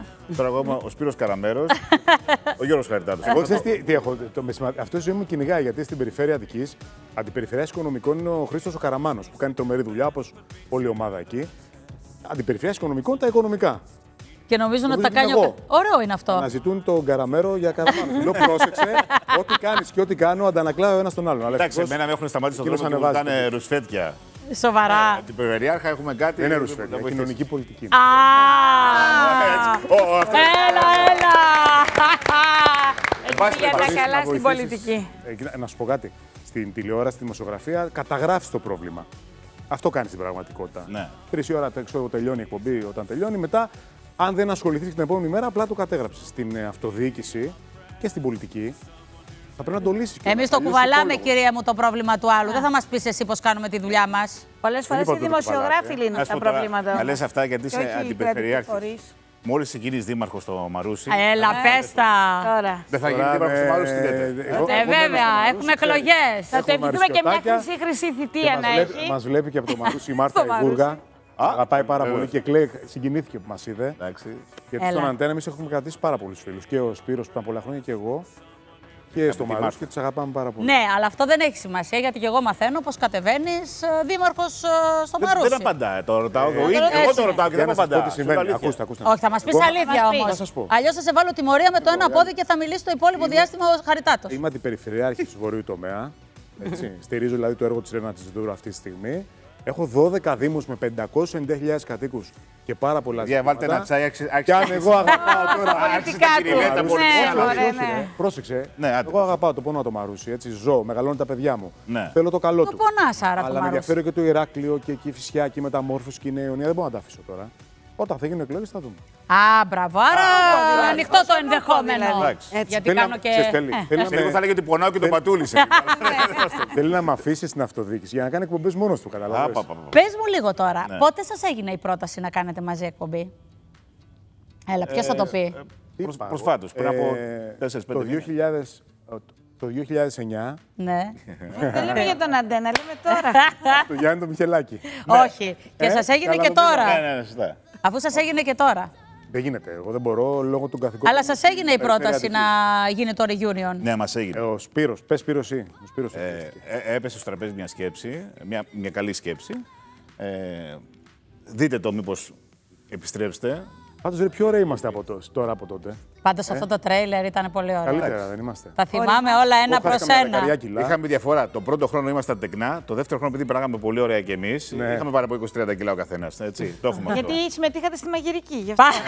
Πάντως το καλύτερο σπύρο μου είναι ότι εσύ που παρέμεινες δημοσιογράφος άσπρεσε, ενώ αυτός που είναι στην πολιτική μαύρο το μαλάκι. Έχει θέμα κληρονομικότητας είναι. ρε. Ε, Άστα αυτά. Είναι αυτό. Τι άστα αυτό, δεν τα βάφω. Να δες ρε, έλα. Όχι, είδα ότι δεν τα βάφεις. Έχεις Ναι. λίγα. Αφού ο παππούς μου έφυγε 92 ετών, ήταν ε, μαύρο το μαλλί. Στη Και λέω, εμένα η μάνα μου έφυγε 70 κάτι και ήταν φραπαδούρα, γιατί λένε ότι έχω κάνει πλαστικές. Λοιπόν, να σου Δίνα, να Με στο- έδεσε, να με στο- βοήθησε αυτό που είπες τώρα. Να στα απαντήσω γιατί. Γελάει. Η άλλη πίσω έχει. Λοιπόν, εγώ του είπα του Γιώργου, κάνα μια κουβέντα Ναι. και λέμε μια ευκαιρία. Έκατσε και μου λέει εδώ, ρε χαρτάτε μου λέει. Και με βάλε στο γραφείο του. Πήγα, μια φορά πήγα στο γραφείο. Μια φορά έχει Αγία Αγία Λοιπόν, Παρασκευή. Και μου βάλε σε ένα, μπροστά του όλες τις υποχρεώσεις σε χαρτιά. Αιτήματα πολιτών δηλαδή και κυρίως αδύναμων κοινωνικών ομάδων και μου λέει: Πες μου, έχω χρόνο εγώ να κάνω τηλεόραση ή να ασχοληθώ με τίποτα άλλο πέρα από αυτά; Και κάπου και τελείωσε η κουβέντα μας; Γιατί έχεις χρόνο να ασχοληθείς με, τη- με το Δημαρχείο, Είναι άρρωστο. Κοίταξε, με την είναι άρρωστος πολιτική, αυτός, δηλαδή πω. με εκλογές Κοίταξε, η περιφέρεια- οι περιφέρειας ή Το- βουλευτικές; Τώρα είναι η Ή καθημερινότητα. να είσαι ένας στους 300, θέλεις; Κοίταξε να σου πω κάτι. Νομίζω στην αυτοδιοίκηση μπορείς να προσφέρεις περισσότερο. Μμ. Έχεις άμεση επαφή με τον πολίτη, δεν μιλάς θεωρητικά, πρέπει να λύσεις ένα πρόβλημα, μια έκτακτη κατάσταση και εμένα μου ταιριάζει αυτό με τις έκτακτες καταστάσεις. Μπορώ να σου περιγράψω πολλές που έγιναν ευρύτερα γνωστές αυτά τα τέσσερα χρόνια και άλλες που δεν έγιναν γιατί αποσοβήθηκαν. Έτσι. Και έτσι μου ταιριάζει, νομίζω καλύτερα. Μου ταιριάζει. Προτιμώ να προσφέρω στην αυτοδιοίκηση. Στους Δήμους, στις περιφέρειες. Έκανες λάθος διαχείριση κάποια στιγμή, ας πούμε, ένα θέμα προς τα έξω, στην επικοινωνία του. Ναι. Όλα αυτά τα χρόνια που είσαι Τα εκεί. τέσσερα χρόνια. Ναι. Κοίταξε να σου πω κάτι. Από την εξοικείωση με την τηλεόραση και τα στούντιο, νομίζω ότι τις τρεις μέρες μετά τη μάνδρα που εγώ ήμουν έξω με τα διάβροχα άϊπνος κλπ. που μπήκα, φτάνω στο φάληρο στον αυτιά στην εκπομπή του και μπήκα με το αδιάβροχο στο στούντιο. Ήταν λάθος, φυσικά. Έτσι. Βέβαια, δεν έγινε ούτε σκοπίμω για να δείξω ότι εγώ είμαι μάχημος. Ο κόσμος ξέρει ότι είμαι έξω και με βλέπουν στις γειτονιές τους. Δεν ανάγκη να με δουν στην τηλεόραση. Έτσι. Αλλά είναι, ξέρεις, το dress code. Εγώ γενικά τώρα που μπήκα, με ιδέα ο Δημήτρης ο Κοτσίκος και μου λέει ρε, εσύ, σε- ο Δημήτρης. Ναι, ναι, ναι. Έχουμε μεγαλώσει μαζί. Ναι, ναι. Μου λέει: Σε βλέπω συνέχεια με ένα άσπρο πουκάμισο. Θα, βονα... θα νομίζουν ότι φορά το ίδιο. Δεν σκέφτομαι τι φοράω. Γενικά είμαι ο τύπος που ξυπνάω το πρωί, του βλέπω το έχει και η κόρη μου αυτό και λέει: Τι θα φορέσω πάλι σήμερα; Υπάρχουν άνθρωποι οι οποίοι τα προσέχουν πολύ αυτά. Ναι, αλλά αυτό δεν σημαίνει ότι δεν έχεις επιλογές στη ζωή σου. Δηλαδή, είσαι ένας άνθρωπος που επιλέγεις τι θέλεις να κάνεις. Σου δόθηκε η ευκαιρία να συνεχίσεις τη δημοσιογραφία, ήσουν στον αντένα, ήσουν σε ένα τηλεοπτικό μαγαζί που τουλάχιστον τα προηγούμενα χρόνια Ναι, Θα σου ήταν πω, μπροστά. Συγγνώμη, Μάρκο, επειδή είσαι και εσύ Έτσι. από αυτή την πάστα και είναι και ο Σπύρος από αυτή την πάστα. Εμείς είμαστε παιδιά που αρπάζαμε τις ευκαιρίες από τα μαλλιά Ε. στη ζωή μας. Δεν μας δόθηκε τίποτα εύκολο και τίποτα έτοιμο. Και πολλές φορές ε, δίνεις τη μάχη, αυτή, αυτή ε, το ένστικτο της επιβίωσης, της μάχης καθημερινά, σου μένει σε μια σειρά αντιμετω... ε, Έχεις αντιμετώπισης διαλέξει όμως τώρα ζητημάτων. απορία. Λες, με νοιάζει ο άνθρωπος. Ναι, με Είμαι νοιάζει να εκεί. είμαι κοντά. Ενώ ο Σπύρος έχει επιλέξει ένα κομμάτι. Το ξέρω πώς βοηθάει το χαμόγελο του παιδιού. Είναι στην κοινωνία. Κάνει πάρα πολλά πράγματα. Έτσι, μπράβο. Τα βλέπει ο κόσμος στα social media. Έτσι, θέλω να πω, είναι στην κοινωνία, είναι σε άλλα κομμάτια, αλλά έχει επιλέξει να ενημερώνει τον κόσμο το πρωί μέσα από τη δική του αλήθεια. Και εγώ, επειδή τον παρακολουθώ, του στέλνω Ναι. και μηνύματα, πραγματικά κάνει μεγάλη προσπάθεια αυτή τη στιγμή. Ο γιατί Σπύρος- μπήκε μετά τα μέσα Ας της μιλήσει ο σεζόν. Σπύρος όμως. Όχι, ε, εντάξει. και Σπυράκο μου, δεν μπήκε θέλω σε να ένα κάνεις κουβέντα. δύσκολο και Συγγνώμη. στημένο ε, μαγαζί, ας πούμε, σε όλα τα άλλα κανάλια. και θέλω να το πω γιατί έτσι το νιώθω. Στο, στο έχω πει και ιδιαίτερο, το λέω και Εγώ δημόσια θα- γιατί θα- δεν θα- έχω να φοβηθώ θα, Θα κάτι. απαντήσω όπως το, όπως το νιώθω γιατί ε, σε ευχαριστώ που σε ανύποπτο χρόνο μου έχεις στείλει δύο-τρία μηνύματα ενώ είμαι στον τηλεοπτικό αέρα για πράγματα που κατάλαβα εσύ στον τηλεοπτικό αέρα που δεν τα κατάλαβαν, ε, δεν τα κατάλαβε το σύμπαν όλο. Και αυτό δεν θα το ξεχάσω ποτέ, να το ξέρεις.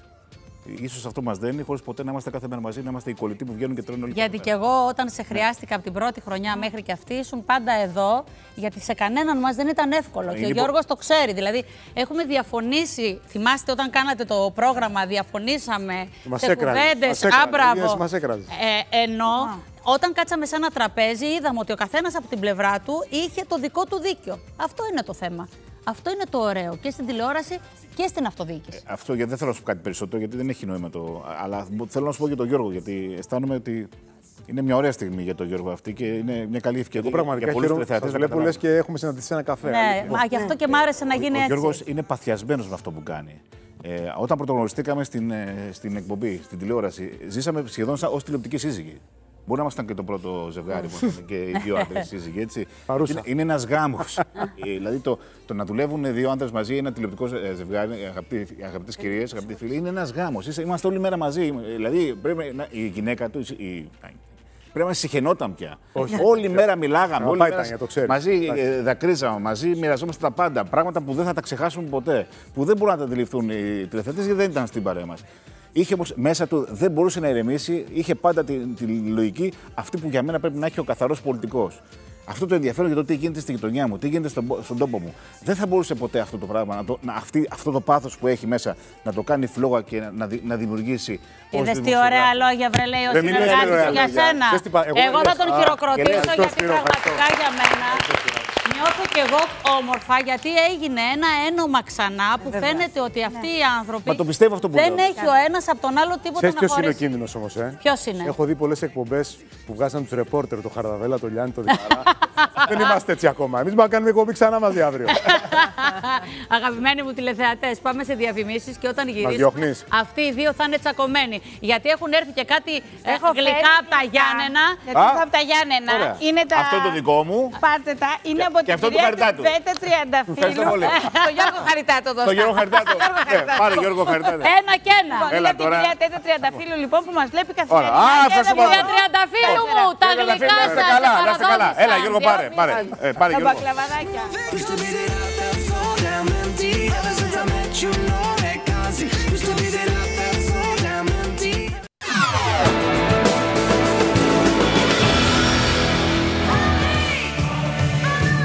στο τέλος της εκπομπής με αυτή την καθυστέρηση που συνήθως, αν ενώνομαστε όλοι μαζί, θα τη δημιουργούσαμε έτσι κι αλλιώς. Γι' αυτό λοιπόν για τέλος θα αφήσω σε αυτούς τους δύο το 10 με 1 μαζί να κάνουν αποφώνηση. Φεύγει το 12 με 2 ντάν.